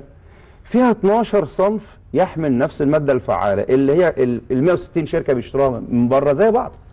واخده بال حضرتك؟ إنما لما تمسك لي في الصنف ده طب كويس. ال 11 صنف اللي عندي بدل لما أفعلهم ينتهوا. طب أنا هبطل أشتري الدواء ده وهموت صيدليتي أنا أستاذ جامعي قفلت اجزخانتي أنت حضرتك متخيلة؟ ليه بقى؟ لأني مطلوب عشان أرضي الطبيب وأرضي الروشتة أجيب من كل صنف على الرف 12 صنف. ده يعقل. أجيب له ده فلوس منين؟ أنت حضرتك متخيلة؟ يعني إحنا المفترض. أنا أيوه. طب أنا عايز أعمل صناعة دواء جديد أوكي بس لنا شرط تاني. اتفضل. لازم ما يكونش هدفك المكسب وبس. لازم يكون هدفك المكسب وخدمة البشر. خدمة البشر إزاي؟ حط لي قائمة وزارة الصحة هي اللي تحددها. تقول أنا عندي 100 صنف دول كريتيكال أنا ما بعرفش أجيبهم بستوردهم بيطلع عيني على ما أجيبهم. اللي كل شركة أو مصنع يجي يقول أقول له هتشيل كام من دول؟ أنا عايزك تصنع لي شيء جديد. لكن أنا الأسبرين بيتصنع زي ما حضرتك عارف. الشركة العربية وسيد و... عد كده 13 شركة بتصنعه. أو أنا أعمل مصنع وأصنع أسبرين رقم 14 آه إيه فهمت اللي أنا ضفته جديد؟ فهمت قصد حضرتك. أنت خدت حضرتك؟ عايز ان اتفضل يا فندم. آه، آه، آه، ال- ال- أنت حضرتك أثرت موضوع مهم. اتفضل. مهم جدا. مستقبل صناعة ده مهم. جدا. كويس. مستقبل صناعة الدواء في مصر فيه مشكلة. دكتور نبيل قال حاجة برضو مهمة. فانه مشكلة ال 160 مصنع وفي 80 طالعين. يعني مصر أنا في دماغي إن 40 ولكن ولا القصة في الاتي لا في 80 تصل. ولكن القصة في الاتي 240 مصنع مش في أمريكا. ال- الجزئية الرئيسية في في إنه آه، الدولة وزارة الصحة لا تملك إن تقول للاستثمار لا. مستثمر جاي ومعاه فلوس. يستثمر كيفما يشاء. العالم كله كده. إنما السياسات والتخطيط. أنا لا عايز أخش أعمل آه، أعمل أرض مصنع دواء وهفتح وهضخ استثمارات. أهلا وسهلا. خلاص. مستثمر جاي يستثمر. أنا بقى كوزارة الصحة زي ما حضرتك قلت كده آه، دكتور نبيل إحنا نعمل إيه؟ اتفضل. نعمل لجنة من هيئة التنميه الصناعية اللي هي بتنزل أراضي عشان تجيب فلوس أيوه. للبلد. اللي, بت... اللي بتديهم أصلا آه اراضي ما هي بتنزل. ما هو بتاع هيئة التنميه الصناعية بينزل أرض مظبوط. مصنع دواء. ووزاره الصحة ما بيبقاش عندها فكرة. اي فندم صح. فأنا بروح أشتري الأرض وأبني وأروح لوزارة الصحة اللي هو. جبت بقى أرض مصنع دواء ادوني رخصة. ادوني الرخصه ما بلاقيش. ففي مشكلة في مشكلة في كارثة. عايز إن من الأول لجنة موجودة. بصي حضرتك أنا آه. آه. أنا مستثمر داخل هاخد الأرض دي دواء وعارف إن الأرض دواء. آه. أقعد مع لجنة. فندم من هيئة التنميه الصناعية ووزارة الصحة اللي هي السياسات والتخطيط. مظبوط. يجي معانا ك ك كغرف تجارية نقعد مع بعض نقول له بص أنت عايز أرض مصنع مستثمر أهلا وسهلا. مصر الخطوط دي أو المنتجات دي مليانة. الله ينور عليك. محتاجين إيه بقى؟ ده اللي. محتاجين ده. ده اللي. محتاجين أدوية سرطانات وده فعلا اللي- دكتور نبيل اشار له ده المفروض إنما اللي حاصل غير كده كل وزارة في حتة. لا مفيش كو... كل ظرف تعاون حضرتك يعني بس. إحنا بنشتغل. بدون مع احترامي يعني الكامل يعني. يعني حضرتك. يعني النقاط اللي إحنا بنسالها دي فعلا محتاجة حلقات. في في سؤال حضرتك برضه ما جاوبتش عليه. الله يخليك هفضل اديني- اسأله تاني. حاضر هجاوب هفضل عليه. اسأله تاني. بس اديني فرصة أقول لك حاجة؟ أمثلة للي أنا بقوله. مثلا. يعني حضرتك تتذكر مشكلة المحاليل في مصر صح؟ مظبوط يا دكتور. محلول الملح. نص لتر يعني شوية قد دول ثمنهم 70 جنيه. من إيه؟ تتخيل حضرتك كده؟ ملح الطعام اللي إحنا بناكله. طب ليه غالي كده؟ انت حضرتك متخيلة؟ طيب أنا في في أمور مع احترامي الكامل لحضرتك. فكرة الاستثمار من عدمه لازم الدولة أنا رأيي الشخصي لازم الدولة يكون لها دور. ده رأيي. مش الدولة بتحط سعر الأدوية يا فندم؟ لا مش ده قصدي. يعني إحنا حضرتك دلوقتي لما تكون شركة الشركات الحكومية مش عايز أقول لا اسامي هو هو هو, هو ماشي كانت بتصنع الجلوكوز. بتصنع محلول الملح. الشركات الحكومية اللي موجودة في الاميريه دي كتير مظبوط. كان بيجي لنا بالكراتين وسعره زمان. رخيص ما ماشي؟ غالي. آه آه. إنما لما ألاقي عندي أزمة لا، هو هنا هو الدولة لا, تتدخل. لا هو في في في حدث في توقيت ما. أيوه. أن هناك حالات أطفال في بني سويف. أيوه. ماتوا من محاليل لإحدى المصانع. المصرية. آه. فهم مهم الم- المصنع ده كان بياخد حصة من السوق 50% لوحده. فانت لما سحبت ال 50% من السوق ال 50% الثانية ما كانتش جاهزة إن هي تغطي فحصل الجاب. فالكرتونة بقت تتباع ب 200 جنيه و300 جنيه الكرتونة أم إيه؟ دكتور النضرة. 30 40 جنيه. ده اللي عمل بتاع والمشكلة الثانية إن وقت لما حصلت المشكلة ال- المصنع اللي حضرتك بتتكلم عليه في الأميرية بتاع المحاليل تابعه للدولة كانوا بيحدثوا خط الإنتاج. حضرتك بتتكلم على جودة الصناعة. أيوه. لن يكون هناك تساهل في جل- جودة صناعة المصانع جميع المصانع المصرية تحت رقابة شديدة من الجودة. طب مصنع زي ده يا فندم بعد اللي حصل ده يا دكتور ولل الله يرحم الأولاد يعني أنا آسف يعني إزازة المحلول دلوقتي بيحصل بكام؟ محلول بيحصل إيه بعد كده؟ لا هي دلوقتي الحدود 9 جنيه 10 جنيه الحدود دي موجود محلول. الملح أنت عارف حضرتك إيه؟ بالمناسبة. يعني اللتر عشان الناس تعرف يعني اللتر فيه 4.5 جرام ملح صح؟ مظبوط. ما هو 9 من 10 من في المية. 10% آه. يعني كل لتر كل لتر فيه صغيرة. 9 جرام صح آه. ولا لا؟ آه، مظبوط. الإزازة نص لتر. الإزازة نص لتر. تمام. النص لتر دول فيهم 4 جرام ونص ملح. تمام. معقول يبقى عندنا شاطئين البحر الأبيض والبحر المتوسط. وإحنا ما فيش أي رابط ما بين إن يبقى تعمل مصانع هي تحضر لنا الملح المادة الخام. لصالح شركات المصنع يا- يا- الشركات الدواء هل ده صعب لا هو هو بص حضرتك هو طبعا يعني هل ده صعب؟ ده pharmaceutical ببلاش. grade pharmaceutical grade رقم واحد رقم اثنين الإزازة البلاستيك نفسها بيتم استيرادها من بره أيوه كل حاجة من بره. خلاص الحاجة الثانية العامل اللي واقف على المصنع في البتاع بياخد مرتب وكل سنة لازم يزيد هو ملوش دعوة الكهرباء بتزيد عليك مفيش حاجة اسمها انت دواء المية زايد عليك لأنك بتستخدم مية التكاليف المباشره. الطاقة كل ده بي بيزيد عليك دكتور علي مصنع زي اللي حضرتك قلت ان تم وقفه وكان بينتج 50% من السوق مستقبل المصنع ده بيكون إيه؟ لا هو بص حضرتك اللي حصل الاتي اتفضل. ادوا له فرص إن هو يعيد هيكلة وتطوير. أيوه أيوه. وفي هناك بعض الكيانات كانت هتخش تستثمر فيه ولكن الاستثمار فيه علشان يحصل له ابجريد إن هو يتطور هيبقى أعمل مصنع جديد أحسن أسهل. يعني ممكن المصنع ده متوقف لحد دلوقتي. يتوقف خلاص. له أربع سنين لحد دلوقتي واقف. وحضرتك مشكورا اتفضل. أرجو إن إحنا نضيف حاجة مهمة. إحنا عندنا تقريبا كام مصنع حكومي؟ تقريبا 12 أو 13 11 مش كده؟ آه. أو 11 اللي هي إيه؟ مصر المستحضرات والنصر والعربية والنيل والقاهرة. دول شركات حكومية صح؟ تمام. إحنا عمالين نستثمر في حاجات كتير قوي.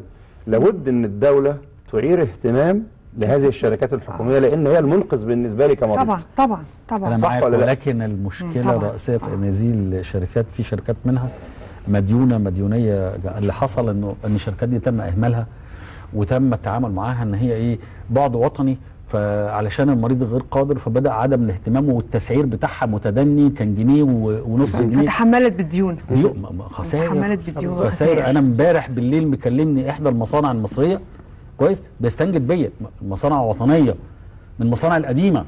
تمام؟ فبقول له ال- يعني مش عايز أقول لحضرتك مدى المأساة اللي بيعيشوها بيقول لي يا دكتور إحنا علينا ديون ل ل ل ل لشركة الجمهورية. حضرتك عارف الجمهورية؟ هو أساسا المصانع دي مش مسموح لها إنك تجيب مادة الخام إلا من الجمهورية لأنها تبع الدولة. طبعا. فحكومه في حكومة. بيقول أنا مديون للشركة دي ب 200 مليون جنيه. بيقول لي عليا فوائد بدفعهم كل شهر. 4 مليون. يعني قد مرتب الدين, الموظفين. الدين أصلا مش هيخلص. ما هو. الدين مش هيخلص. فبيقول لي كان عندي مشكلة.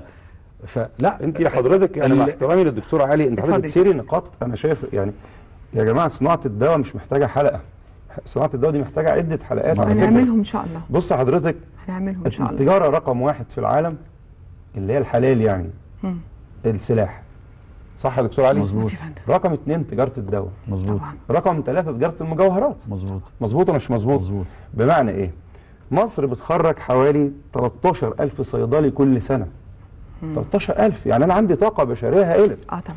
مصر فيها تقريبا حوالي 30 كلية صيدلة. مظبوط. عندنا 160 والدكتور علي قال لك مرشحين يبقوا 240 مظبوط. يا ترى عندنا استعداد نستثمر هذه الموارد سوا أو لا؟ بمعنى إيه؟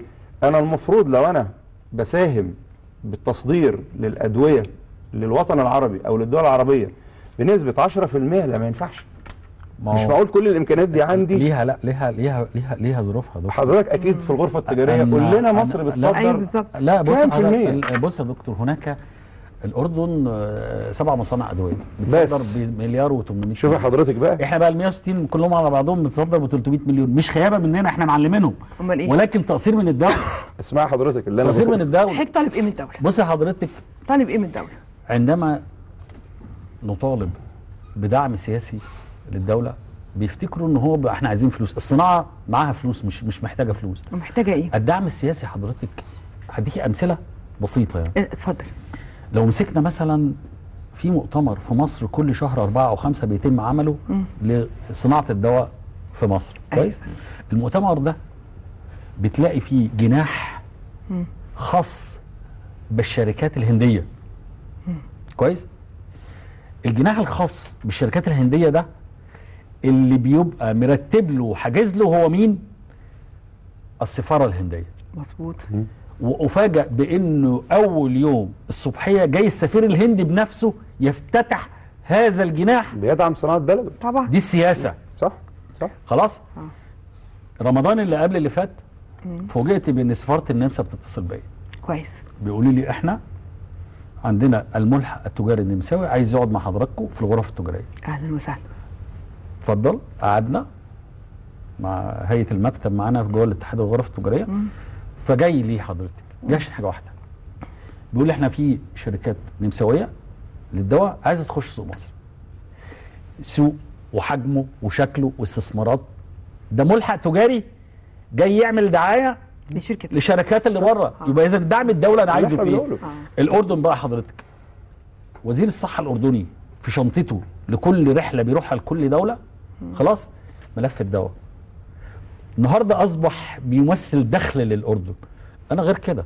أنا في مصنع اردني واحد جوه مصر. آه. اشترى ثلاث مصانع جوه مصر. شطار جدا. واخد بالك؟ ليه؟ شغالين ال- صح. ال- التسعير. من شغالين صح. أسباب واحدة من أسباب أنت النهارده ما بتخش السعودية. دواء مضاد حيوي مصري واخد 10 ريال. الأردني أخوه نفس التركيب وأنا اللي معلمه يعني إيه صناعة دواء؟ 50 ريال. تيجي تتكلم مع وزارة الصحة الإف دي السعودي يقول لك إيه؟ أنت في مصر أصلك سعرك 10 جنيه هو في بلده سعره 50 جنيه. التسعير. واخد بال حضرتك؟ فأنا مش عارف مش عارف أنافس بره. إحنا لا مش تقصير من عندنا. هو التسعير داخل البلد مختلف عن سعر التصدير؟ لا آه، يعني هو النهارده حضرتك بس هم هيجي ماسكيننا يحاسبني على سعر يعني. لازم هم- لازم أعلي بقى السعر على الناس في مصر. علشان. خاطر لا يبقى بره غالي؟ لا يحط استراتيجيات آه. عشان أجيب عملة. أنا النهارده ب 300 مليون بكره الصبح ممكن يبقى مليار. بموضوع بسيط. أنا بصدر كام دواء؟ كل شركات مصر على بعضها بصدر 200 أنا عندي كام دواء متداول في مصر؟ 14000 أربع رقم خرافي. استاذنا أستاذنا الدكتور نبيل قال لي كلمة مظبوطة. في بدل الصنف 12 ما. جاتش بقى على واحد أغليه علشان هيجيب لي عملة؟ ما أنا عندك 11 مريض يقدر يخرج جوه. مصر بالسعر الأقل.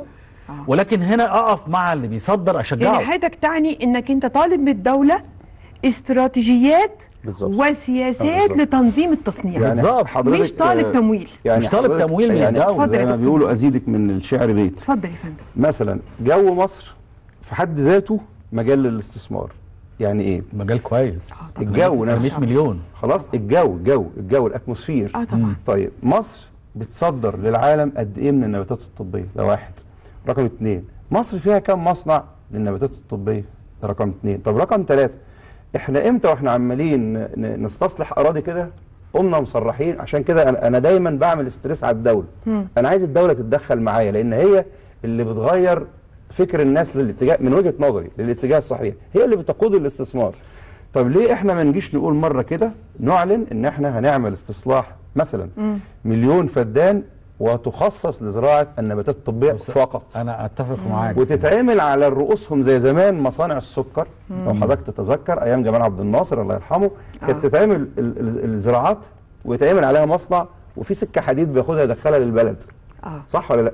إحنا نقدر نستس... نست... آه، نستصلح مثلا وتبقى دي بداية مليون فدان فقط لزراعة النباتات الطبية فقط.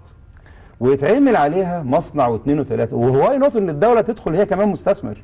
هو في أو في المانع؟ آه في بس تمام. بمناسبة آه،. بني سويف. حضرتك هل تعلمي إن محافظة بني سويف عالميا من المحافظات المشهورة جدا خصوصا في فرنسا؟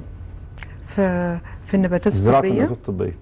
الياسمين بيتم. استيراده من التربة بتاعتها ليها خاصية معينة. و... من أشهر شركات ال- ال perfumes اللي هي العطور في العالم في فرنسا بتستورد من مصر. الورود. بتاخد من عندي حضرتك ال raw material وهي تعملها extract وترجع تصدرها لك تاني. أيوه. ففي كان أستاذ فكان مهندس شريف حبيب محافظ بني سويف السابق كان شغال على بروجكت زي ده اللي هو الدكتور الأستاذ دكتور نبيل بيقول دلوقتي بالظبط. اللي هو إيه؟ عندنا حاجات طب أنا عندي نعملها. هنا طب أنا أعمل مصانع صغيرة جنبها بالظبط. تعمل القصة دي وبدل ما بستورد ده الفكر الدولة دخوله كده. المفروض نفكر إحنا عندنا. حاجات طيب كويسة. أنا عايز أسأل سؤال لحضرتك يا دكتور. بالنسبة لما نروح صيدلية ويقول لي الدواء ده مش موجود وموجود البديل. هل هنا معناه إن الدواء البديل أقل منه؟ لا. لأن طبعا في ثقافة سائدة طبعا آه، يعني- إن الدواء اللي بيكتبه الدكتور في الروشته هو اللي بيخفف. إحنا كت- كتبنا في الكلام ده كتير. اتفضل. برضه عشان لو الناس بتسمعنا البديل ما اسموش بديل هو اسمه المثيل. كلمة المثيل. آه طبعا. طبعا. لأن المادة الفعالة والتركيز طالما واحد بس الشركات مختلفة. الشركة دي بتدي علبة لونها أحمر الثانية دي بتدي علبة لونها أصفر بس دي مكتوب عليها. مثلا الأسبرين المادة الفعالة اسمها إيه؟ acetylsalicylic acid. مثلا 300 مللي جرام والثانية acetylsalicylic acid 300 مللي جرام إحنا ما دي برضو من ضمن مشاكل قتل الإتجار في الدواء داخل مصر اللي هو إيه؟ الدكتور يمسك مادة يعني بتاع يعني منتج تجاري ويقول لو الصيدلي اداك غير ده ما تاخدوش. ما هو أنا تاني برضو. تدخل وزارة الصحة في اللي إحنا بنقوله ده آه. استراتيجي. من وجهة نظري. اللي هو إيه؟ إحنا مثلا على سبيل المثال يعني تصنيع المادة الخام اللي إحنا دكتور في بنتكلم بعض. الدول في العالم الدكتور بيكتب في روشتة المادة الفعالة وما بيكتبش اسم الله ينور الدواء على حضرتك. ما إحنا فليه حضرتك يعني يعني آه، يعني في العالم بره مصر ما. بيكتبليش بيكتب لي الماده الفعاله على المصانع الصيدلية. هتعترض. بصي هو ده اتكلمنا فيه هو, برضه. هو هو لا بص حضرتك ما إحنا لو عملنا كده هنقضي على جزء كبير جدا في في القصة- في, القصة في ثقافة. التجاره السيئه للدواء ثقافة مريض. أما بيخش أول حاجة بيخش للصيدلي أول كلمة بيقولها له إيه؟ مش عايز بديل. تمام؟ آه. ده رقم واحد. ده عنده البديل وفي صبر. دكاترة بيكتبوا إيه؟ لا بديل. آه. إنما حضرتك هقول لك على آه، آه، آه، كذا نقطة. رقم واحد هناك أزمات كتيره في الأدوية ظهرت في الفترة الأخيرة مظبوط؟ أيوه يا فندم. الأزمات دي نقص الدواء ده ما تلاقيش حد في الدنيا بيتكلم السعودية اللي لسه جاي منها من شهرين ما عندهم نقص دواء بس ما بيحصلش زي مصر كده. أيوة. العالم كله بيحصل فيه نقص دواء بس ما ليه؟ عشان العالم كله زي ما حضرتك قلت إيه؟ الاسم العلمي ده مش موجود ده موجود موضوع. بيخ...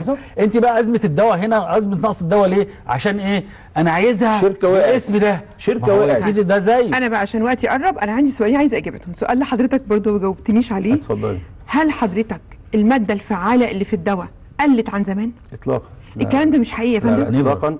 دواء يعني ده مش وارد إن الأدوية بقى التصنيع بتاعها المادة الفعالة مش زي إطلاقاً. لا، لا، الأول لا، نظرا للأسعار أو لزيادة المكسب. ده سؤال مش مهم حقيقي. ده سؤال مهم وجوابه برضه مهم. اتفضل. وأنا يعني لو الناس عشان يعني لأن ده دوري ودور حضرتك. حضرتك دلوقتي. شوفي حضرتك مفيش حد ابدا يقول إن دواء التامين الصحي عشان الأسئلة دي اتسألت وجاوبناها في عدة أماكن. مفيش حد يقول إن دواء التامين الصحي علشان بناخده ببلاش والدولة بتاخده من ال- من الشركات فالمواد اللي فيه أقل من اللي أيوة. في السوق ده خطأ الكلام ده مش 100% حقيقي. الدواء اللي موجود في التأمين الصحي هو بالظبط اللي خارج من الشركة بس فرق واحد إن الشركة بتطبع يعني عليه كلام خد- الدكاترة بقى اللي بيقولوا إن المادة الفعالة في الدواء ده أقل من الدواء ده ده. كلام أي كلام. وده أسلوب اللي إحنا بنقول عليه. اللي هو إيه حتى لو في بعض الأنواع في كل الأنواع الطبيب للأسف أحيانا أنا مع كل الاحترام باتفاق مع الشركة يقود الفكر بالطريقة اللي حضرتك بتقول عليها ده ما تجيبليش غير المنتج ده. خدي بال حضرتك أنا صحتي كمواطن مصري مسؤول من وزير الصحة من وزارة الصحة. وزارة الصحة لا توافق على أي دواء ينزل لمصر قبل ما تراقب عليه. التشغيلة اللي قال عليها الدكتور علي اللي هي الباتش دي بياخدوا عينات عشوائية منها وبيشوفوا التركيز بتاعه ولو حلو. شركة خلفت بتتقفل. اقفل السؤال الأخير لحضرتك. إمتى يا فندم هيبقى صرف الأدوية في مصر؟ بروشتة ما عدا ال OTC أو ال on the shelf اللي هو ما عدا الحاجات اللي, اللي ما فيهاش ضرر. حضرتك إحنا بنتكلم التليفون في الصيدلية أقول له أنا زوري وجعني ومش عارفة عندي إيه يبعت لي. روشتة بره مصر ما بيحصلش كده. إمتى هتلتزم يعني الصيدليات بتختم الحلقة بسؤال عايز حلقة؟ بالظبط أنا قصدي يا فندم. أنا قصدي يا فندم أنا قصدي أعمل كده. بس أنا عايزه أعمل كده. عندما يكون هناك آه، منظومة هيئة عليا لدواء تنظم ملف الدواء على بعضه جوه مصر هيبقى هناك انضباط في صرف الدواء في مصر. هينفع في يوم من الأيام نصرف الأدوية بروشتة؟ لما يكون في منظومة هيئة عليا هتحط guidelines أو اشتراطات من أول بداية التصنيع إلى صرف الدواء هيتم إزاي. حضرتك أنت داخل لك تطبيق مشروع كبير جدا جوه مصر وده إنجاز تاريخي يتحسب لمؤسسة الرئاسة اللي هو التأمين الصحي. أيوه طبعا. وفي التأمين الصحي لما يجي يطبق حضرتك إيه اللي هيحصل؟ هيبقى كله بروشيتا. الحاجة إلى الصيدليات هتقل. وهيبقى ال- الاسم العلمي هنا هيطبق. يعني في. التأمين الصحي هيحطوا في في ال في الروشيتا ال- الاسم العلمي وليس الدواء. حاليا هو اللي بيتكلم بيتعمل المفروض كده. ده دلو يعني ده آه، هيحصل يعني في الحد مصر اللي بيتعمل الأدنى يبقى أنا آسف يا دكتور. اتفضل. الحد الأدنى يبقى في مستشفيات الحكومة وفي التأمين الصحي يفرض فرضا بقرار من وزير الصحة أن تكتب كل الأدوية باسم المادة الفعالة. يفرض. عارفة لما نعمل كده المريض بتاعها هيرتاح. هيرضى عني أنا كطبيب هيرضى. عني كوزير هيرضى عني كرئيس. لأن المفترض إن أنا ك- كوزارة أنا يهمني إيه؟ المادة الفعالة صح ولا لا؟ لا شركة يهمني إنها تبيع أكتر ولا تبيع أقل أنا. ماليش في السوق أنا مش حضرتك عايز الناس. تخف الناس تشفى. فمش منطقي إن أنا يبقى عندي حاجات مركونة على الرفوف والتعنت في كتابة الاسم التجاري موقفاها حتى كمان في الوزارة. في مخازن في الوزارة هناك أدوية ينتهي مفعول اضطر يعدموها. مش ده بيحصل علشان مش مكتوب الماده الفعاله يعني مكتوب الاسم التجاري نمتلك الجرأة في اتخاذ هذا القرار وأتمنى بعد الحلقة دي أن يكون. سيادة الوزيرة بتسمعنا إنه يفرض على كل الأطباء. المستشفيات الحكومية لأن في النهاية اللي في الحكومة ده بيشتغل عند الدولة فعلا، يعني بيشتغل. بدماغي في القطاع الخاص. فالمفروض يفرض على مستوى كل ال- التأمين الصحي على مستوى كل المستشفيات الحكومية أن يكتب الدواء باسم المادة الفعاله هنا ما فيش شركة هتزعل مني وتقول ده أنت بتوزع لفلان. على حساب علان هدي فرصة للدكاترة إنها تعمل؟ بيزنس طيب على الثقافة دي. زي ما قال الدكتور علي إحنا عايزين نغير الثقافة أول ما نغيرها في الحكومة اللي هي ملكنا إحنا أصحاب القرار هتتغير في المجتمع هتتغير بره لأن هيبطل الناس تقول بديل هتبطل الناس تقول مثيل آخر حاجة أتمنى إن حضرتك تسمحي لي. أقولها إن شاء الله يكون في دقيقة اتفضل أتمنى أن نغزو سوق إنتاج المواد الفعاله ولو بأصناف محددة يعني مثلا المادة اسمها ديكلوفناك صوديوم اللي بيطلعوا منها الفولتارين والكتافلام المسكن المشهور ده. طبعا. إذا المس... الدواء دي لو هم في في في في قطاع ال... ال... ال... ال... الغرف التجارية حاصرين مصر بتستورد كام من المادة الفعالة؟ أعتقد في السنة ممكن يعدي المليار. ففي الحالة دي. تستحق. لا تستحق اتنين إنها- ونص اتنين ونص مليار؟ لمين؟ شوفي حضرتك لمين؟ لصنف واحد يا جماعة. لا يا جماعة صنف واحد ممكن تقوم عليه بتكلم شركة على كله أنا بتكلم على كل الماتيريالز إنما أنت حضرتك متخيله قصدك يعني إحنا ما نقولش إحنا عندنا تخوفات من تصنيع المادة الخام لأننا مش هنقدر ننافس. لا يا سيدي أنا هقول للشركات المصرية أنا هصنع المادة الفلانية. كويس؟ والدولة تلزمك إنك ما تستوردهاش. خلاص. واخده بال بس حضرتك؟ الدولة تديني تسعيرة عادلة. للتكلفة اللي جوه. أنا فعلا كبقى كمصريه أنا أتمنى. فعلا تكون وزيرة الصحة. سمعانا وأتمنى إن يكون بالفعل المسؤولين عن السياسات سامعينا لأن بس الكلام اللي حضرتكم إحنا مش هنتغير قابل للتطبيق. مش هنتغير غير بقرارات جريئة. أنا بس آه حابب إحنا عايزين قرار جريء. بص هو هو أو قرار أو أول. قرار جريء جريء خدته معالي الوزيرة. وأنا بحييه على كده لأن أيوة. إحنا طالبنا من سنة يا نائب وزير لشؤون الصيدلة يا هيئة عليا. وهي أول قرار أعلنته وأعلنت قدام مؤسسة الرئاسة. كلام بصراحة وشجاعة. ان ملف الدواء لابد من فصل من وزارة الصحة. يبقى له هيئة رقم- عليا منفصلة. رقم اثنين عينة نائب وزير صحة لشؤون الدواء. أيوه. وده بادرة كويسة لأول مرة في تاريخ الصيدلة ده بيتم. وده إنجاز كويس وده إن شاء الله هيحسن كتير من ملفات وازمات الدواء وإن شاء الله القرارات دي تكمل إن شاء الله الدكتور نبيل محيي عميد كلية صيدلة سابقا وعضو مجلس علماء مصر حقيقي شرفتنا وأفدتنا. الدكتور علي عوف رئيس شعبة الأدوية باتحاد الغرف التجارية أتمنى كل اللي حضرتك قلته حضرتك والدكتور نبيل إن شاء الله إن يتحقق شاء الله شاء الله. بإذن الله شاء الله. نطلع فاصل ونرجع لحضراتكم تاني وأقول برضو من لا يملك قوته لا يملك قراره ابقوا معنا. ورجعنا لحضراتكم تاني برنامج أمنية مصرية. عشان نتكلم عن قضية مشكلة أزمة أو كل المسميات دي اللي بتشغل بال الأسرة المصرية خاصة في الأقاليم هنلاقي مخالفة البناء على الأراضي الزراعية. أنا شخصيا ما بعتبرهاش مخالفة. بعتبرها جريمة. هيقولوا لي هي حرام عليكي. الناس كل اللي عايزاه اوضتين وصالة يسكنوا فيهم. هرد وأقول ده حقه طبعا. لكن لما نهدر الرقعة, الرقعة الزراعية اللي عايشين عليها وتبني حضرتك عليها الأوضتين والصالة دون تنظيم وبعشوائية ودون تخطيط يبقى هنا عندنا مشكلة. إحنا عارفين إن إحنا دولة زراعية. الدولة بتسعى جاهدة في مشروع المليون ونصف فدان لتعويض الفقد اللي حصل بعد هوجة الاعتداء على الرقعة الزراعية في ظل الانفلات اللي واجهته مصر بعد 25 يناير. وحطنا قدام أمر واقع. عمارات اتبنت بالمخالفة للقانون في المدن وعمارات اتبنت في أراضي زراعية تم الاعتداء عليها بين يوم وليلة زي ما بيقولوا. مجلس النواب بيعد مشاريع عشان حاجتين. الأولى هي حماية الأرض الزراعية والتانية اللي لازم برضو مجلس النواب والدولة والجهات التنفيذية أكيد عارفينها إن من حق المواطن سكن يعيش فيه وده حقه الدستوري. ومحدش قال فيه أي حاجة. بس من غير ما يجي على حق الدولة. إحنا معانا في الفقرة النائب الدكتور إسماعيل نصر عضو لجنة الإسكان في مجلس الشعب. هنتكلم معاه عن كل اللي قلناه ده وأكيد برضو هنجيب سيرة الضريبة العقارية. أهلا وسهلا يا دكتور. أهلا بيك. أهلا بحضرتك يا فندم. أهلا وسهلا. حضرتك في مشروع قانون منع التصالح على مخالفة البناء على الأراضي الزراعية. لما ح... المشروع ده هل كلمة منع التصالح معناها إن هيتم بقى هدم كل المخالفات؟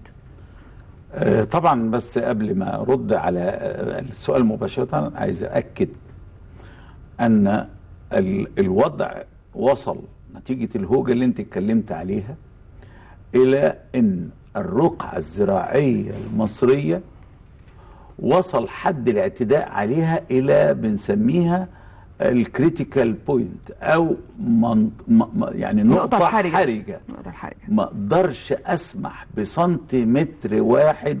يضيع من, من الأرض الزراعية تاني. كفاية رضا الكلام دوت مش كلام طرف ولكن ده كلام مصلحة بلد وأمن قومي وشعب المفروض الأرض الزراعية ده جزء من آه، آه، حياته. زيه زي أي حاجة تانية. الشعب لا يستطيع أن يعني يتنازل عنها أو لا يستخدم أيوة عشان كده إحنا لما قلنا نفكر نعمل مشروع يمنع أحد مواده بيمنع التصالح على مخالفات البناء على الأرض الزراعية لأن فعلا أعتقد إحنا ممثلي الشعب وإحنا آه في زي ما قلتي إن في ناس حصل آه بناء. حضرتك حضرتك تعني منع التصالح ال- ال- يعني من الآن وصاعدا. طبعا. آه لكن ما بتعنيش منع التصالح في اللي تم بناؤه بالفعل. لا اللي تم بينه بالفعل برضك لو كان تم أنا أنا أنا ملتزم مع الراجل. أنت قلتي إيه؟ ده أوضة وصالة ولا أوضتين وصالة عشان أنا وابني معايا أو بنتي يبقى فيها. أعتقد إن دي لن تكون يعني آه، مشكلة. مشكلة دي سهل حلها. لكن طلع لكن اللي بقى. بالي أبراج داخل الأراضي الزراعية هتخش المرافق ليها إزاي؟ كيف سندخل هذه المرافق للعمارات؟ هنرجع زي زمان ونشتغل بالطريقة اللي مر عليها أكتر من 100 سنة؟ ما ينفعش. نمرة اتنين إحنا آه، آه، ال- ال- القصة ليست آه، آه، فيها نوع من ال- آه، الظلم الأحد. اللي مظلوم في القصة دي الشعب المصري نفسه. لأن أنا لما أق- أق- أستقطع جزء من قوته من احتياجاته من حاجات ضرورية أساسية لأي سبب من الأسباب غير مقبول. عشان كده إحنا لما بنقول التصالح له شروط ده, ده بالنسبة للقديم أيوة. ولكن ال- الجديد من من من من وقتنا ومن اللحظة اللي إحنا بنتكلم فيها دي لن يسمح وعلى فكرة. طب معنى إنه لن يسمح؟ آه، أنا إيه بس عايز؟ أضيف حتة مهمة. اتفضل. يا فندم اتفضل. على فكرة الناس اللي هت يعني في ناس بقى إحنا عندنا آه، ممكن نتحايل على كل حاجة. تم عمل تصوير جوي وخرائط كاملة بما هو قائم فعليا. عشان اللي عايز بقى يقول لك إيه على ما يطلع القانون الحق آه، أبني أوضة ولا أبني ده الكلام ده لن يسمح به لأن خلاص التصوير الجوي آه، آه، آه، رفع الواقع على أرض الطبيعة. إذا كانت هناك مب- مباني آه، غرفة وصالة أو غرفتين وصالة أنا أعتقد إني وما تكونش متعارضة مثلا مع مشاريع قائمة مع حاجات أخرى يبقى اللي هو سكن الفلاح وعائلته للفلاح يعني. الغلبان. آه. لكن الراجل اللي بنى عشان يعمل برج على أرض زراعية أنا بعتبر إنه ارتكب جريمة. جريمة بمعنى بكل مكونات وعناصر الجريمة. طب اللي بنى بقى برج على الأرض الزراعية حضرتك أشرت دلوقتي كيف سيصل إليه المرافق؟ طبعا. طيب هتعملوا فيه إيه بقى؟ ما هو ده قبل القانون. أعتقد هنعمل إيه في اللي فات بقى؟ أنا آه، شوفي مش ممكن أسمح بتوصيل كيف هصرف أنا عشان أوصل لبرج اتعمل على ارض زراعية حواليه عشرات الأفدنة يعني مزروعة. هيفضل قاعد جنبه كده يا إما يشتغل بالطريقة البلدي بتاعت زمان. طبعا. ولا يمكن هيقبل. وأنا أعتقد إن قرار الإزالة هيبقى وجوبي. زي النهارده لو واحد بنى بره خط التنظيم. خلينا نشرحها أنا بسمح له يبني بره خط التنظيم لا, لا طبعا. لازم يزال المنشأ حتى لو 20 دور طالما بره خط التنظيم غير مسموح مم. أنا بقى خط التنظيم بتاعي للأرض الزراعية انه ما يبنيش عليها نهائيا لكن هناك مقننات وأوضاع بتسمح طبعا. للفلاح يبقى عنده بيته غرفة طبعا. اتنين بيته اللي هيعيش فيه ما ما أقدرش أقول إن ده آه أيوة طبعا. شيء مخالف لكن المبدأ العام أنه لا تساهل ولا تسامح في استقطاع أو آه، مخالفة ببناء على سنتيمتر واحد من الأرض الزراعيه وبحذر إن حاليا تم عمل تصوير جوي شامل بيوضح الوضع الحالي. يعني اللي هيجي يبني سنتيمتر آخر مش هيقدر ينفي بقى لأن في صور مؤكدة بتبين المكان ده ما كانش فيه مباني. ده هيبقى الإزالة وجوبية ولا تصالح فيه طيب الجزء يا فندم بتاع إن طبعا من حق الفلاح إن يكون له بيت يسكن فيه هو وأسرته طبعا. وأولاده طبعا. طب هل البيت ده له مساحات ولا هيترك للتقدير النسبي لا القانون السابق آه، في آه، بيوضح مساحات أعتقد إن هي نسبة من يعني- المساحة الكلية آه للأرض طبعا. يعني في مساحات معتمدة حتى لا تترك للتلاعب طبعا آه، طبعا. بين لو رحت اوروبا لو رحت. حتى أوروبا هتلاقي الأراضي الزراعية بيبقى فيها بيت ريفي للراجل اللي بيشتغل أو الناس اللي بتشتغل في هذا المكان. ما فيهاش أي مشكلة لأن دي لو حسبنا مساحة بيت 120 متر آه، مسطح ليس بالمساحات الكبيرة ولا الواسعة ولا ولا ولا ك يعني لا يسبب آه، مشكلة. وإن آه، طبعا لظروف حياتنا إحنا في مصر لسه عايزين هناخد وقت على ما نطور حياة الفلاح لأنه ده عصب الحياة في مصر. الفلاح ويجب أن يأخذ حقه زي ما أنت قلتي. إيه بقى؟ طب نحل المشكلة إزاي؟ هو ده دور الدولة. هو ده دور التخطيط. هو ده دور الإسكان. هو ده دور المحليات إن إحنا إزاي نحل المعضلة إن أنا عندي ابني كبر اللي كنت بربيه وهو صغير كبر واتخرج وعايز يبقى ليه أسرة آه، هو ده بقى التخطيط الجديد وعشان كده أنا سعيد جدا عندما سمعت آه، أعلنت وزارة الإسكان أيوة. انتهائها من المخطط الاستراتيجي 20 آه، 50 أو 52 أيوة. ليه؟ ليه بقى؟ المخطط الاستراتيجي هو ده اللي من خلاله. هحط الأحوزة العمرانية مم. هو ده اللي من خلاله. هقدر أدي بلان للتوسعات العمرانية هو ده اللي هقدر من خلاله أ- أربط شبكات الطرق اللي كلنا بنفخر كلنا كل الشعب المصري يجب أن يفخر إن يتحقق في هذا المجال إعجاز بكل صور الإعجاز و آه، يعني شيء كلنا هنحس بقيمته في السنين الجاية لأن المبالغ اللي صرفت عشان أعمل محاور طولية بطول مصر وعرضها ودائرية. آه الكلام دوت ب- بالأعمال الإنشائية اللي عليه من كباري وتقاطعات و و و. الكلام ده يا جماعة آه يعني مش عايز أقول طفرة اقتصادية ضخمة. فعشان كده أنا بقول إني لن نسمح للعشوائيات بقى أن تدخل حياتنا آه، آه، لن نسمح ان آه، الشيء اللي المفروض يتعمل بتخطيط إحنا عملنا ورتبنا يبقى بندعو كل أهلنا وناسنا. الشعب المصري شعب محب لبلده. يكفي إنه تحمل ما لا يتحمله أحد عشان تنجح العملية الاقتصادية ايمانا إن اللي جاي أفضل وأحسن. برضك بنقول له تعاون حافظ على رقعة بلدك الزراعية اللي بيحاول الاعتداء بقى بالطرق ال- الغير سوية يجب أن يحاسب ويعاقب لذلك في مواد في القانون الجديد هتغلظ العقوبة تصل إلى سنوات كثيرة كبيرة من الحبس أو. السجن. ليه؟ عشان أنا أنا أنا أمام قضية أمن قوم البلد طبعا. أمام قضية التفريط فيها بفرط في حق كل طفل وكل رجل طبعا. وكل امرأة مصرية. طيب هل يا فندم في المشروع اللي حضرتك أشرت إليه هل معنى كده إن يعني بجانب الأراضي الزراعية الواسعة هيكون في تخطيط لبناء مساكن متوسطة لأبناء الفلاحين؟ طبعا.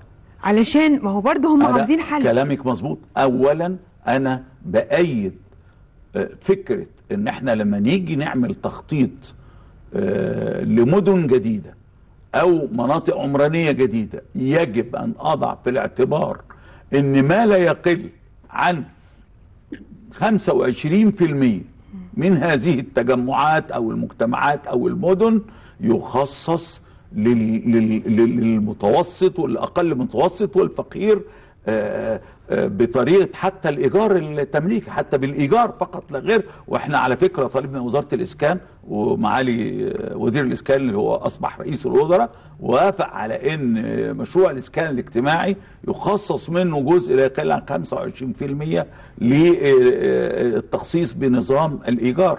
لأني أنا الراجل الفلاح اللي لا يملك إنه يجمع آه، 30000 ولا 35000 أيوة. أنا بقول له أرجوك انضبط وما تبنيش وإحنا هنحل مشكلة ابنك أو بنتك بإن إحنا نعمل. هو ده بقى التخطيط. حل البديل. البديل. ولا بد إن إحنا فعلا هي المشكلة بس في المحافظات اللي ملهاش ظهير صحراوي دلوقتي مع وده بقى ميزة. في ناس كتير ما كانتش فاهمة إن آه، آه، تركيز آه، سيد الرئيس على أن يتم الانتهاء من الشبكة القومية للطرق بالشكل الحضاري العظيم اللي تم ده هو نجاح لكذا حاجة منها ان أنا هخلق طرق جديدة تستطيع إن تو- توصلنا في ال- هتعمر أماكن. اللي ملهاش طبعا. ظهير صحراوي ويبقى السهولة واختصار مدة الزمن من الانتقال لل- للمنطقة المكتظة دي إلى مكان جديد ويتم تعميره على جانبيه ماذا بالنسبة لوضيع اليد على الأرض الزراعيه؟ اللي واضع يد على الأرض الزراعيه وزرعها هيتم التعامل معاه لأنه أصلح أرض واللجان المختصة في وزارة الزراعة برضك هينظم هذا الموضوع لأني أنا يهمني الراجل اللي بيبني. اللي بيبني يعني إيه؟ اللي بيزرع يعني اللي بيبني بيزرع. بلده.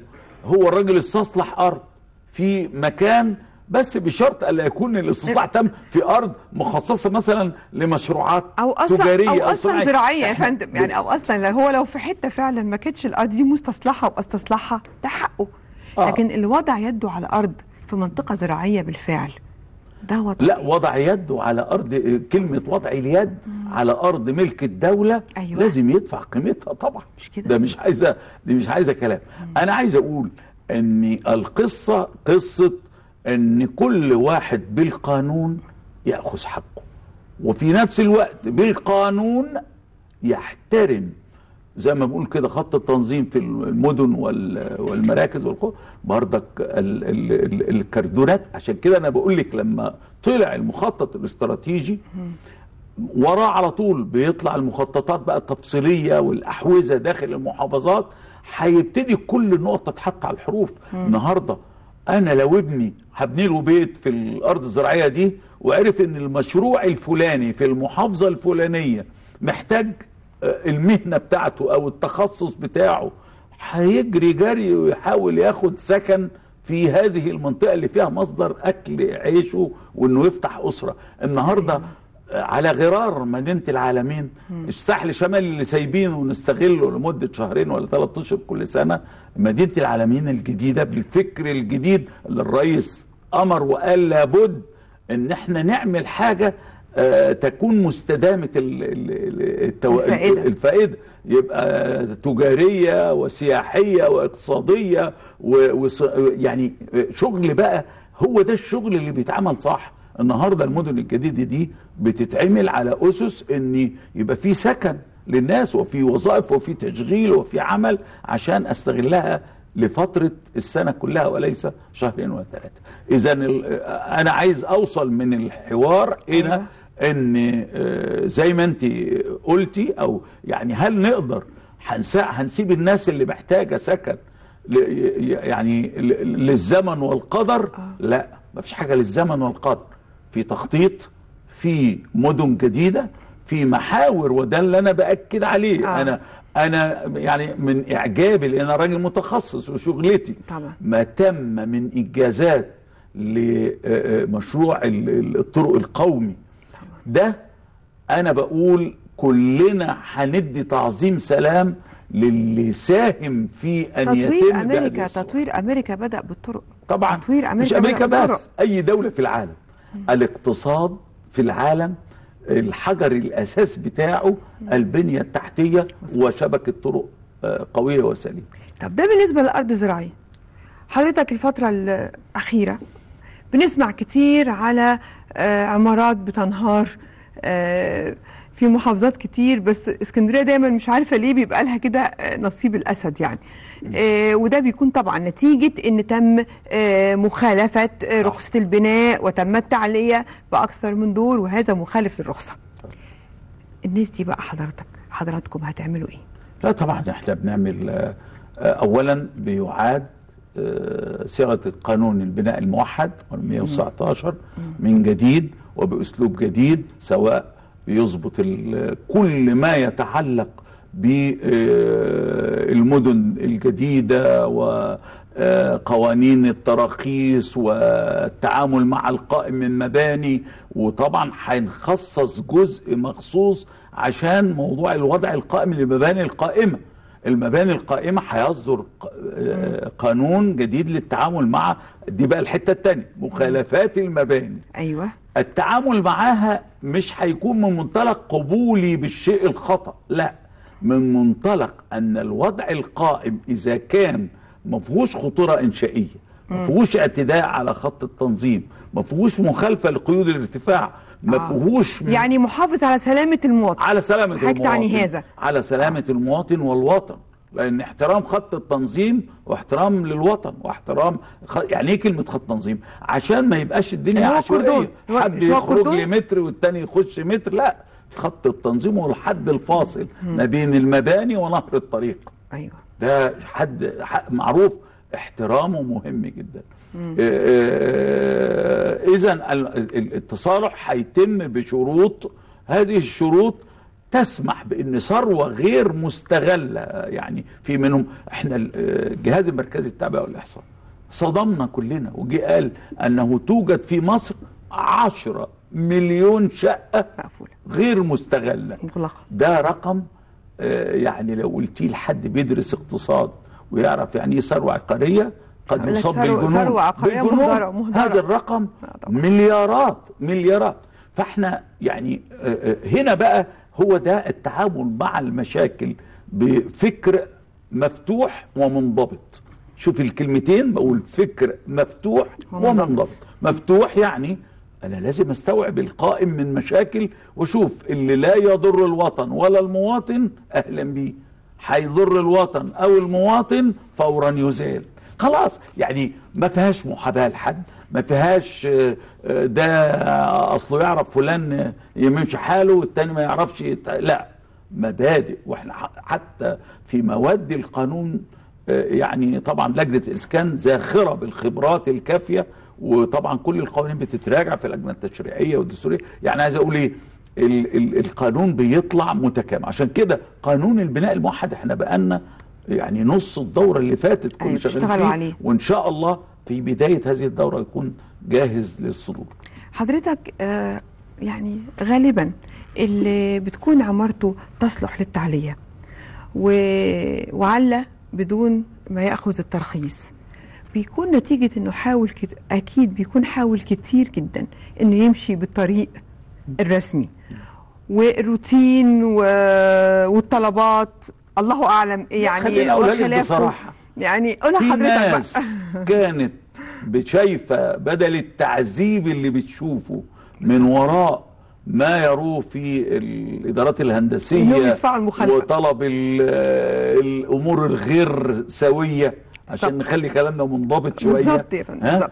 كان بيضطر إلى إنه يبني يقول لك بقى وبعدين ابقى أما المخالفة تجيلي يحلني. أيوه. لكن آه، هتقولي طب دول هنعمل معاهم إيه؟ زي ما قلت لك إذا كانت التعلية دي في حدود المسموح بقيود الارتفاع اللي هيحصل ليها تعديل ونسب أفضل. إذا كانت في حدود ال- القيود الارتفاع إذا كان المنشأ يتحمل هذه التعلية وما يبقاش مصدر خطر على بقية أيوة. العقار وإذا كان هذا المنشأ زي ما قلت لك مرتبط بخط تنظيم ما يكونش مبني على أرض دولة آه، إذا كان الأمور الضوابط اللي إحنا حاطينها في القانون أنا شايف أنه لا مشكلة في إن أنا آه، أعمل نوع من التصالح هدخل هذه المبالغ تدخل ده فورا لمصلحة عمل مرافق أو تحسين مرافق أو صيانة مرافق أو دعم مشروعات كثيرة تحتاج إلى الدعم في الإسكان.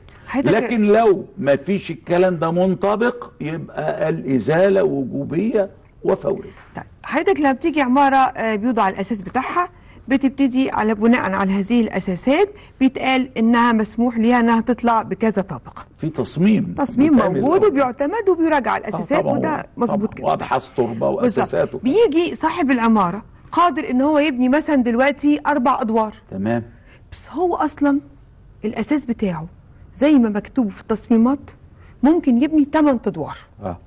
هل هنا بيعوز تاني يلف على ورق تاني عشان يعلي لا هو المفروض لو صمم البيت على 8 ادوار مثلا يبقى بيقدم آه، آه، الرسومات الإنشائية والمعمارية على الثمان ادوار وبياخد ترخيص إن العقار ده أقصى ارتفاع ليه سي 8 أدوار. ما هو هياخد ما هو هنا بيحصل إيه يا فندم إن هو بيدفع كتير في الترخيص لأنه على 8 أدوار. لا هريحك أنا هقول لك على حضرتك حاجة. فاهم أنا قصدي آه. أنا اللي أقصده إيه؟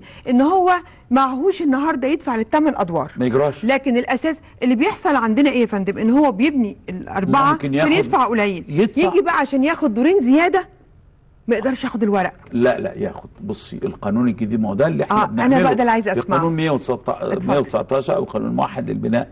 طبعا هينظم هذه العملية. ده فيه بقى خبر أكيد الناس سمعته كتير. اتفضل. إحنا موضوع إن الإدارة الهندسية هي اللي تبقى مسؤولة عن الرسومات وعن البتاع الكلام ده خلاص هيكون في خبر كان إيه دلوقتي؟ المكاتب استشارية على مستوى الأحياء. مكاتب استشارية هي اللي هتتولى عمل الرسم. وكتابة ال- عقود الإشراف عشان ما يحصلش الكوارث اللي انت بتشوفيها واللي قلت عليها هو ال- العمارات ليه بتقول اشمعنى اسكندرية اللي فيها عقارات بتوعك عارفة ليه؟ ليه؟ أحد أسبابها إيه؟ آه. إن المخالف عايز يشتغل بأسرع ما يمكن عشان يخلص البيت وما دام وقف وسكن ما حد هو فاهم بقى إن ما حدش هيقرب قبل. ما حد يمسكه. فبيحصل إيه؟ دائما الإعقار وإنشاء العقار يجب أن يمر بخطوات مظبوطة ويتم استلام الأعمال وحديد التسليح وإزاي يتع- قصة قصة مش سهلة. فاللي بيحصل إن العشوائية في الشغل أوام أوام بيؤدي إلى وجود أخطاء إنشائية أثناء التنفيذ أو استخدام مواد بناء غير مطابقة أو أو أو هي اللي بتؤدي إلى الكوارث عشان كده إحنا قلنا هنفصل تعامل المواطن. عشان ما يتضايقش من الإدارة الهندسية، الإدارة الهندسية هيبقى شغلتها أن تتأكد صلاحية الموقع للبناء عليه، دي حاجة بقى ما فيهاش هزار. ما فيهاش حاجة. نمرة اتنين أن تتأكد أن المنشأ الذي تم الترخيص به تم تنفيذه آه، آه، مطابق لخط التنظيم وقيود الارتفاع أما التنفيذ نفسه أصبح والرسومات نفسها واعتماد الرسومات كل ما يخص الرسومات ده المكاتب الخاصة أو الاستشارية الخاصة آه، هي هتبقى مسؤولة عنه. وفي النهاية آه، آه، لما يخلص المنشأ هياخد شهادة صلاحية حضرتك تنتظر إمتى صدور القانون؟ أعتقد ده يعني لا ي... لن يزيد شهر بعد دور الانعقاد بتاعنا من تاريخه يعني أكتوبر أو لأكتوبر يعني على نص نوفمبر بالكتير لازم يكون القانون قد صدر واللائحة التنفيذية؟ اللائحة التنفيذية القوانين اللي زي دي المفروض اللائحة التنفيذية بتاعتها بتصدر معاها. معاها. أيوة. ووزاره الإسكان وفي المهندسه اللي يعني صراحة اللي بتيجي معانا وهي ماسكة هذا الموضوع آه، إنسانة محترمة جدا المهندسة نفيسة أعتقد إن هي مجهزة آه، العناصر الأساسية في في اللائحة التنفيذية لأن مم بيقولوا كده أو مش بيقولوا ده الواقع اللائحة التنفيذية إما نعيم يؤدي إلى تنفيذ. القانون صح أو شيطان يؤدي إلى تكبيل القانون وعدم تنفيذه صح أو في الأمور عليه. اللي تخص بلد وتخص موضوعاتنا مفيش هزار لابد أن يكون ال- ال- ال- المز- ال- اللائحة التنفيذية آه، جيدة ومطابقة ل- ل- لفلسفة ونص القانون أشكرك يا فندم ده. أملنا كلنا الله. آه، الدكتور مهندس إسماعيل نصر الدين عضو آه، لجنة الإسكان مجلس النواب. شرفتنا يا فندم. الله يخليك. من هنا وصلنا لآخر حلقتنا. تصبحوا على ألف خير وهنا وأشوفكم الأسبوع الجاي إن شاء الله.